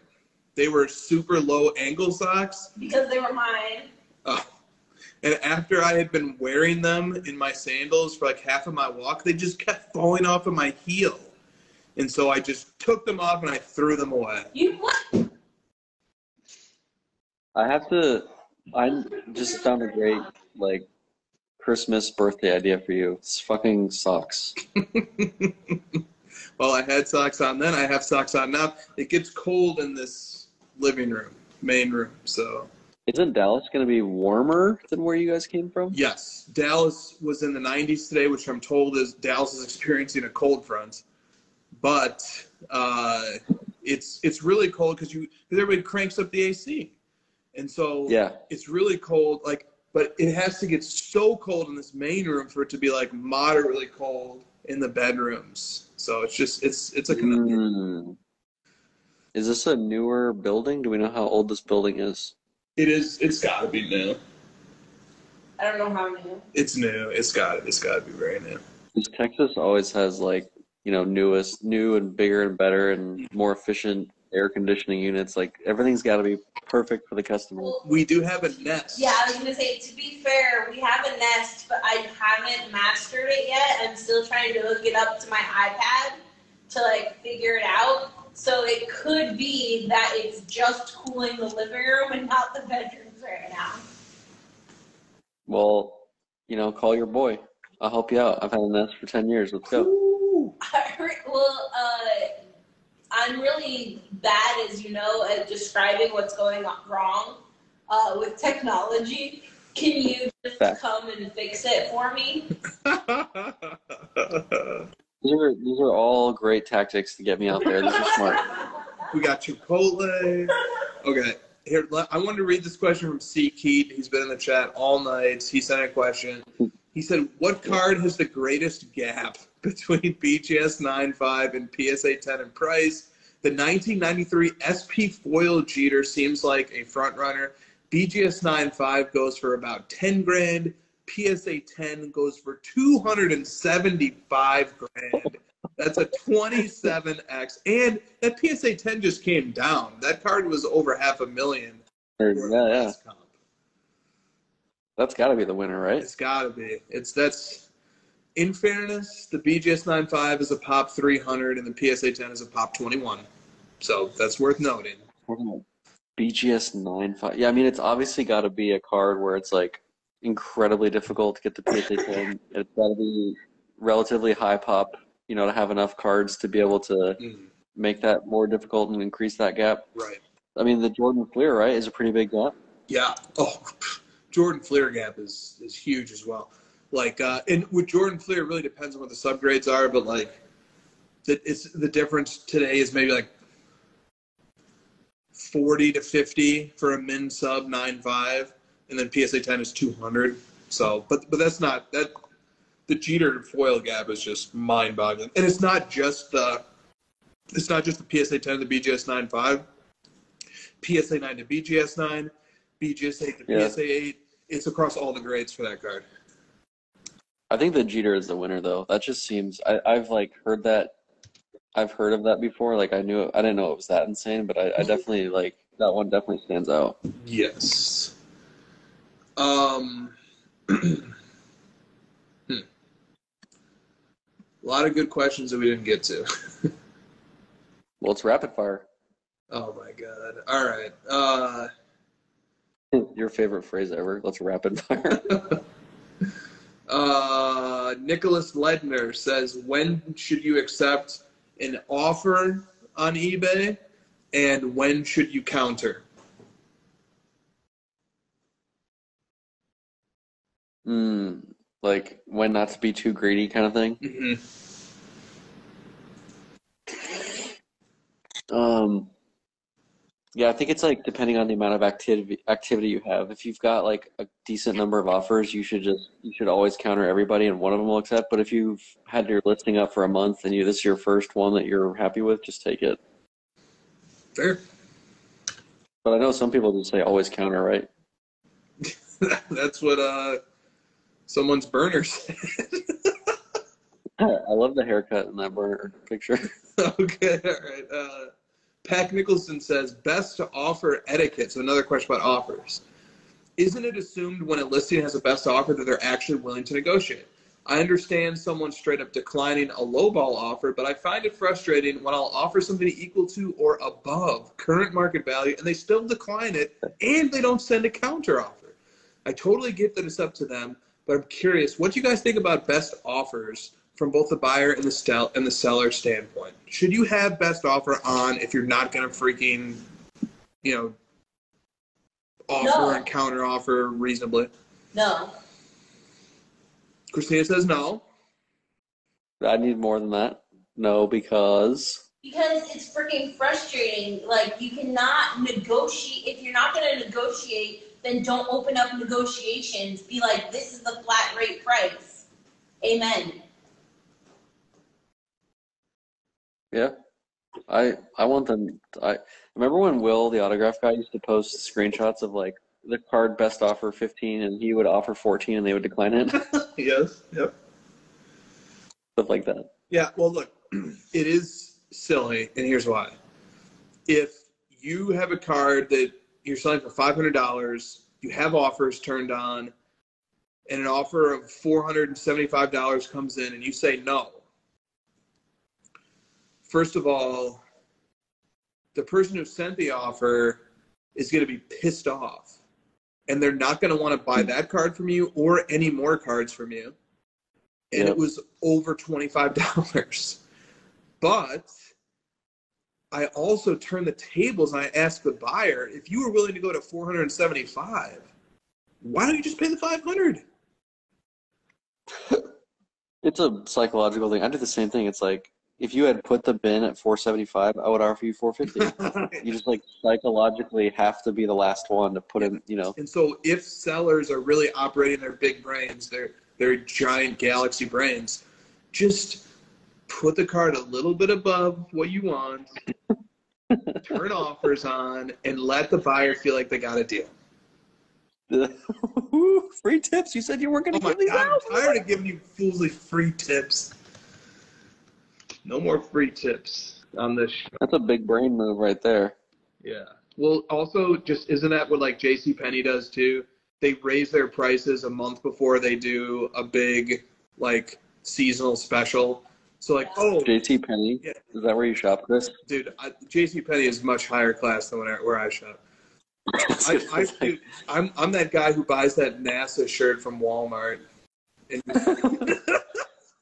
I think I made the comment to you at some point we were in person at the hotel or something like there's this like style that exists where you dress to like look like you don't care. You know, it's like this like hipster kind of vibe. Mhm. But you have this like I actually don't care and that's what I wear. yes. Yep. I am what these hipsters aspire to be. exactly. You're just like you're like the meta hipster where it's like you just wish you could be this hipster as me. All right. It's a vibe. It's a mindset. It's not even like a. It's not an intentional thing. Facts. Okay. Mad City Collector says, do you have any custom indexes on your Card Ladder profiles that are not publicly visible to the users? That are not publicly visible. Yeah, you made your own custom index that nobody else can see. Yes. I have mine. It's been running for a while. LeBron Prizm Silvers. I just want to know that market is like the Prizm Silver market has dipped a lot, and I kind of combined it with LeBron. Yeah. I don't. I just keep an eye on that one. It's down a ton. Yep. Totally. You? No, none. None. Kristina, do you have a custom index?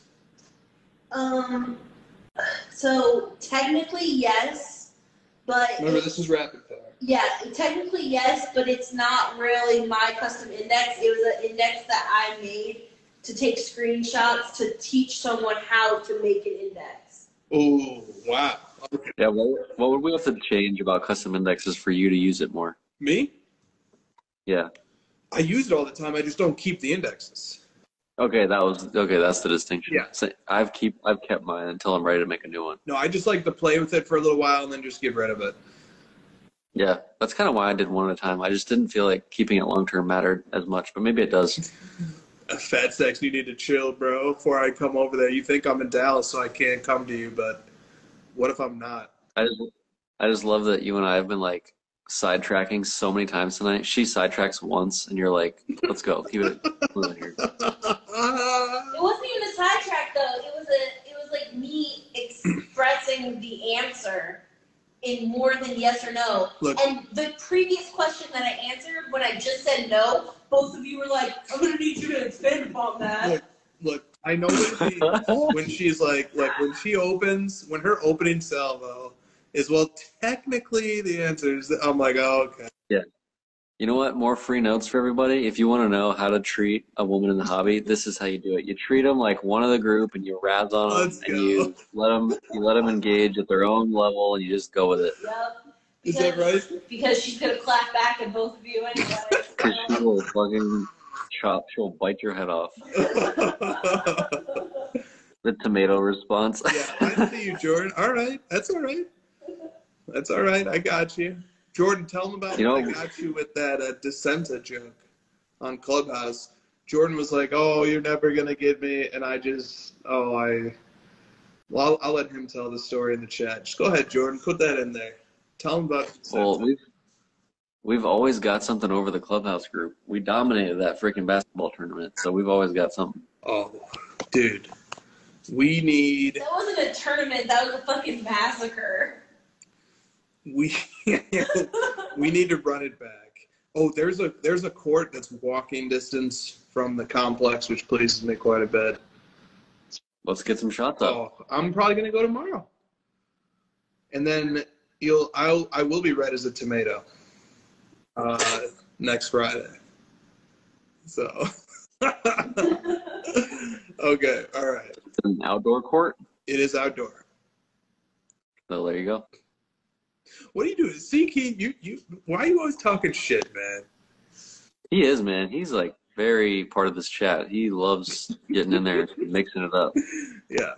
Well, after we read his question about the um, the Jeter foil, which is a, a an accurate observation. He didn't like the answer. Yeah, he goes, he goes. Well, he goes. Pop is 14x higher. Price is twice that. Anyways, thanks for reading the question. Okay, guy. All right. Sometimes people ask questions with like the answer that they want to get out of it, and then the, when they don't hear it, they get mad.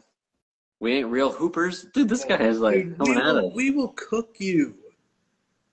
We will destroy you. Come, come. You tell me when you're in Dallas. You will get, you will get shredded. He's seeking this heat. You will get shredded by, uh, by the poor man's Boris Diaw. Mohammed is right. Oh, Thank you, I was genuine. He did say thank you. He's right. He did say thank you. Oh, so he can he can dish it, but he can't take it. That's all right. Let's. I'll see him on the court. Where you? Where do you? Where are you at? He says he ain't going nowhere. Come to Seattle. He wants, he's ready, man. You think I won't come to Seattle? To Seattle. Who's your partner? Who's your two for your two for this two on two? Yeah, we'll see. All right. Oh, hope it's, it's Seattle. Hopefully, it's like Ray Allen or something. oh, Green Lake Park. All right, hold on. oh, he plays full court, Chris. He says get your cardio up. We go. Oh, but you can't read that. All right, look. Every man for himself, full court, five on five. Here we go. Here, just for you. He's gonna be looking at plane tickets tomorrow. And we're we're putting your name in, in quotes because we don't really believe that. That's just. He's got the dot. Don't forget the dot. There you go. Oh, look at my other notes. Oh, see? I told you, man. You got to start keeping track of these captions. That's my notes from today's show. Beautiful. Okay. All right, back to the rapid fire. yeah, So much for rapid fire. All right. Back to the. Good luck, Kristina. All right. Damn, someone someone just volunteered to be a second. You got, the chat's taking up against you. Nice. Send me a little Not video. Seattle. Thanks, Chris. Send me send me a little video of you balling, see, Kate. Oh, he's talking big shit. Dude, he's like always in the chat. He's a uh, he's always active in this chat. I love he, it. He's got good comments. I, I like what he brings. He keeps he keeps the edge on. He's seeking the heat. Yeah. Send me a little video of you hooping so I should know if I even need to practice or not. But you have a cell phone. You can take a video. Come on. Oh, now we're going with this. All right. All right. All right, come on. Let's- I know you're all like excited about this. Uh, peace be the journey. He said I don't fly across the country with a camera crew. Just put your phone on the ground. You never filmed yourself shooting around? Okay. Peace be the journey says, please discuss. Oh, have you ever filmed yourself shooting around? Uh, no. It's I stopped doing it just because I watched myself shoot. around. I was like, damn, I'm so slow. My form is trash. Oh, this I, In I actually undergrad- I advise against filming yourself. In undergrad, we used to go to the gym, and he used to make me sit there and film him while he would take his shots. I don't know. That video that Nick had made, I've probably seen that thing about 50 times by now. All right, peace be the journey says, please discuss the rise of raw cards. Can you turn the fan back on, you can say please. please? The rise? The rise of raw cards. Has that happened? I don't know. Discuss it, or is that your discussion? I don't know. Uh, I mean, I would love to see more people focus on raw cards and binder building because I think that's fun. Okay. All right. Uh, We put a lot of emphasis on graded cards though, like so we don't really pay attention or or like get into the raw side of it too much. yeah. Dude, there he is. I knew Carbon was going. Carbon's favorite grading company is RAW. it's got to be a three-letter acronym, doesn't it? What does it stand for? Uh, Spell it. out. really awesome Wax. wax. there you go. There it is. Grading company RAW. He's ready for that one. He was ready. He's like, someone asked about raw. I'm fucking dropping this. Dude, I know all Carbon stuff. Carbon uh, went on a nice rant on Clubhouse the other day, and I already knew it was coming. He goes, "There's two principles," and I said, "I know what those principles are. Number one, never FOMO. Number two, never YOLO. That's all you need to know. Never YOLO. What does that mean? Never YOLO. Never you only live once. Except we literally just moved to Dallas. Except we totally just YOLO'd you. Yes. Okay. Uh, raw cards are awesome though. Just to, throwing that out there. Um. Oh, all right. This is from mostly '90s basketball cards. He says a hobby wizard hands you an envelope. That was fun. In- Yes, from our wishes. inside the envelope is the location of the 2018 Black Prizm Luka 1 of 1. If you open the envelope and read the location, you are never allowed to tell anyone, you are never allowed to benefit from the information, and you're never allowed to own the card. Do you open the envelope? For me, the answer is yes, because that's never that's a card I'll never be able to own anyway, so I might as well know who has it. All right. Does anybody else want to take a stab at it, convert it into their grail of all grails? No, this is your fucking card. Hurry up. Well, that's it. That's all I got. You didn't even say anything. Yeah, I did. I said I would open it. Yo, you would read it. Yeah, I would read. It. And you can't tell anyone about what you read? Yeah, that's fine. What's the penalty You if can't I buy slip it. up? You know? Well, on my grail card, I wouldn't open it because I actually want to buy mine. Yeah. Yeah, same. Okay. Or like, go. I want to maybe one day rip it, like pull it, Oh. like rip, rip the box and Mm. pull it. Oh, well, that that's an issue. What if the envelope says the card is in a box in a warehouse in Seattle? like it hasn't been opened yet. Like it hasn't come out of its box. yet. What if you open the envelope? Spousal privilege says that you could tell me without us admitting it to anyone that you've ever told me. And then I go and retrieve the card. Therefore, I own the card and you do not own the card. And we just ruined David's hypothetical. So when we were in undergrad together, we had a professor who would tell Kristina, "Don't fight the hypothetical. Don't fight the question. Don't try to make a rule that breaks the question. Just answer the spirit of the question." no. All right. Uh, Mike Pinkerton 50 says, Will the Burbank show evolve into the National West? I don't know. Isn't this the first one? We have no idea yet. This is the Let it let it let it evolve. Let's see what it is first. I mean, it, it's shaping up to be a big time show.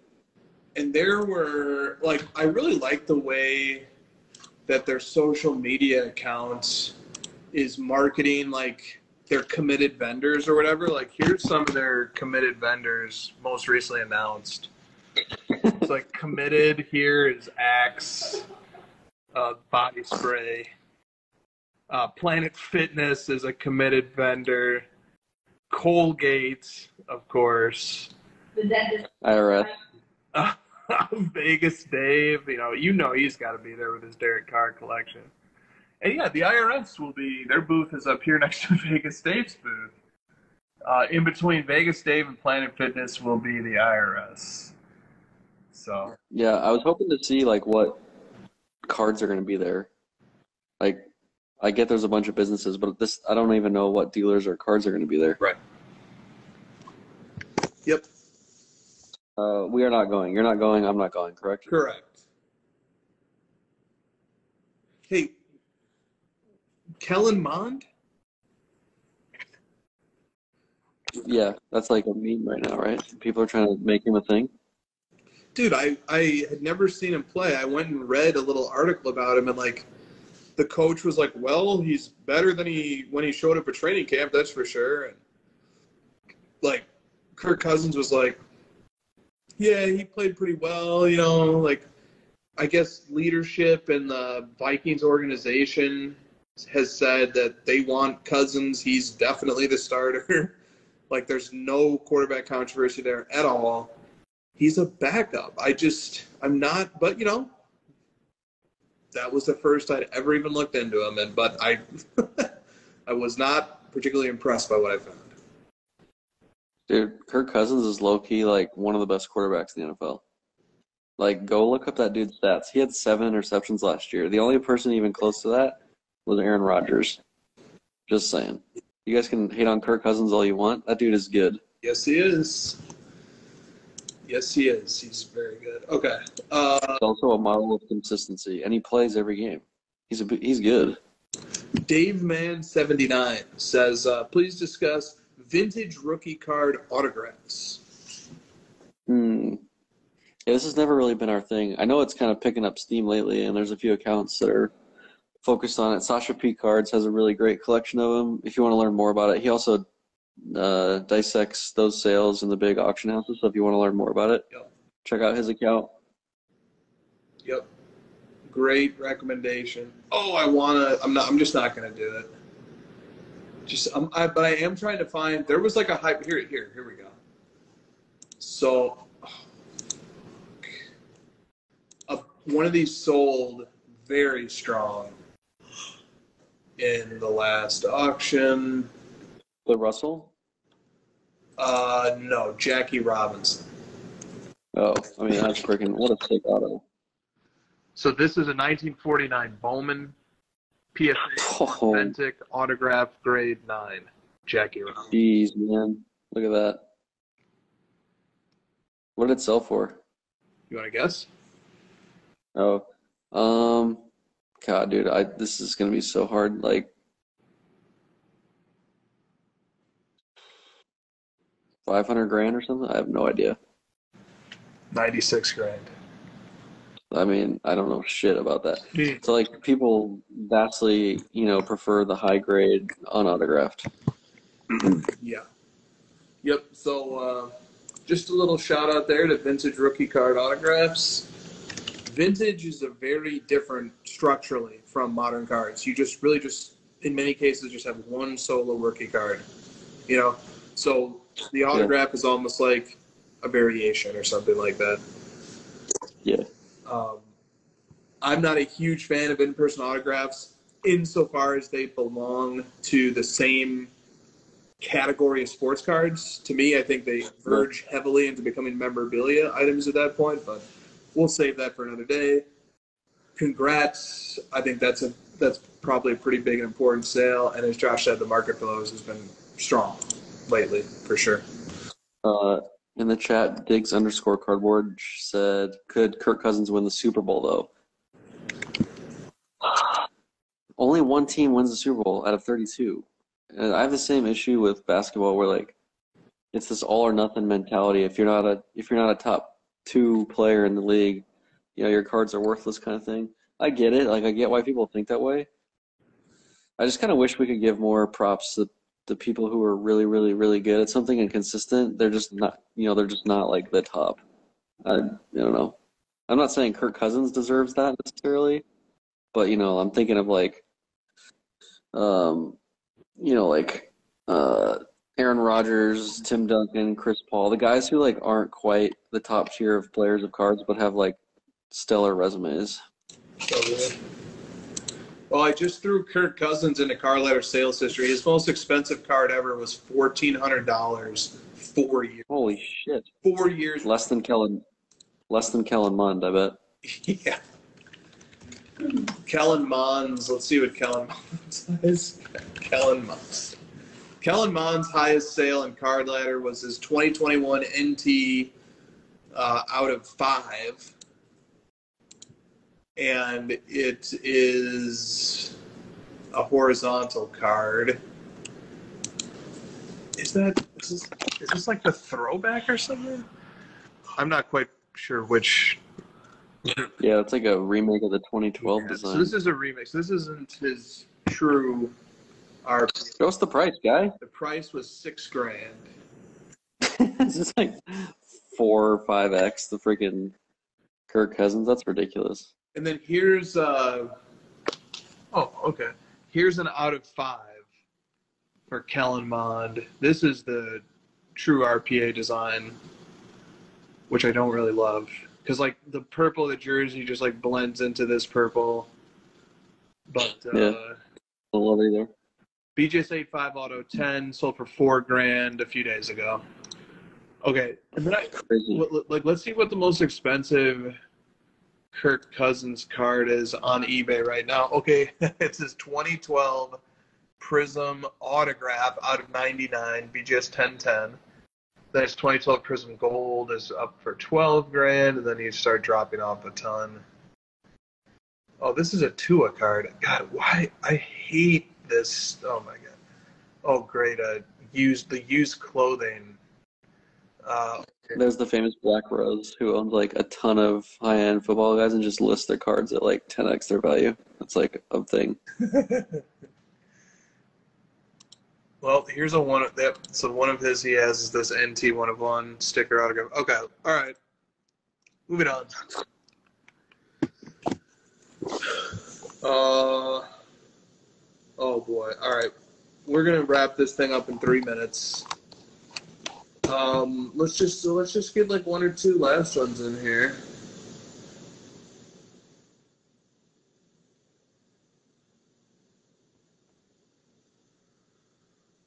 Oh, damn! I really wanted to get to this. This was a question from Drake's PC. Mm, Damn. Good now. All right. do it. Drake's PC says there's been a lot of discussion around influencers lately. Is there a card or type of card that you bought because somebody else told you or they had influence over you somehow? Is that card still in your collection? For me, it was gold refractors. When I returned to the hobby, that was not one of the first cards that I bought, but now it's mostly what I do buy. Man, this is like philosophy class up in here today. Dude, people were very pensive and thoughtful today and upset and myth mystified. Yeah. The- Basically, the the topic goes towards you know, aren't we all sort of influenced at some level Mhm. on every card purchase? You know, whether we heard about it uh, from a friend or online or whatever, we're always you know sort of influenced to make decisions. Mhm. I mean, I guess. Yeah. Uh, well, yeah. I mean, uh, we we all take influence from somewhere, and uh, and inspiration, and even uh, you know, but let's take it even a step further. Is there such thing as an original thought? Wasn't it Newton who said, uh, "I merely stand on the shoulders of giants"? Who said that? The shoulders of giants quote. Isn't that Winston Churchill? Standing on the shoulders of giants was said by Isaac Newton, he, who said in a letter to Robert Hooke in 1675, If I have seen further, it is by standing on the shoulders of giants. Yeah. So like the then the question is like, you know, why are we complaining about influencers so much if we've been influenced to buy cards?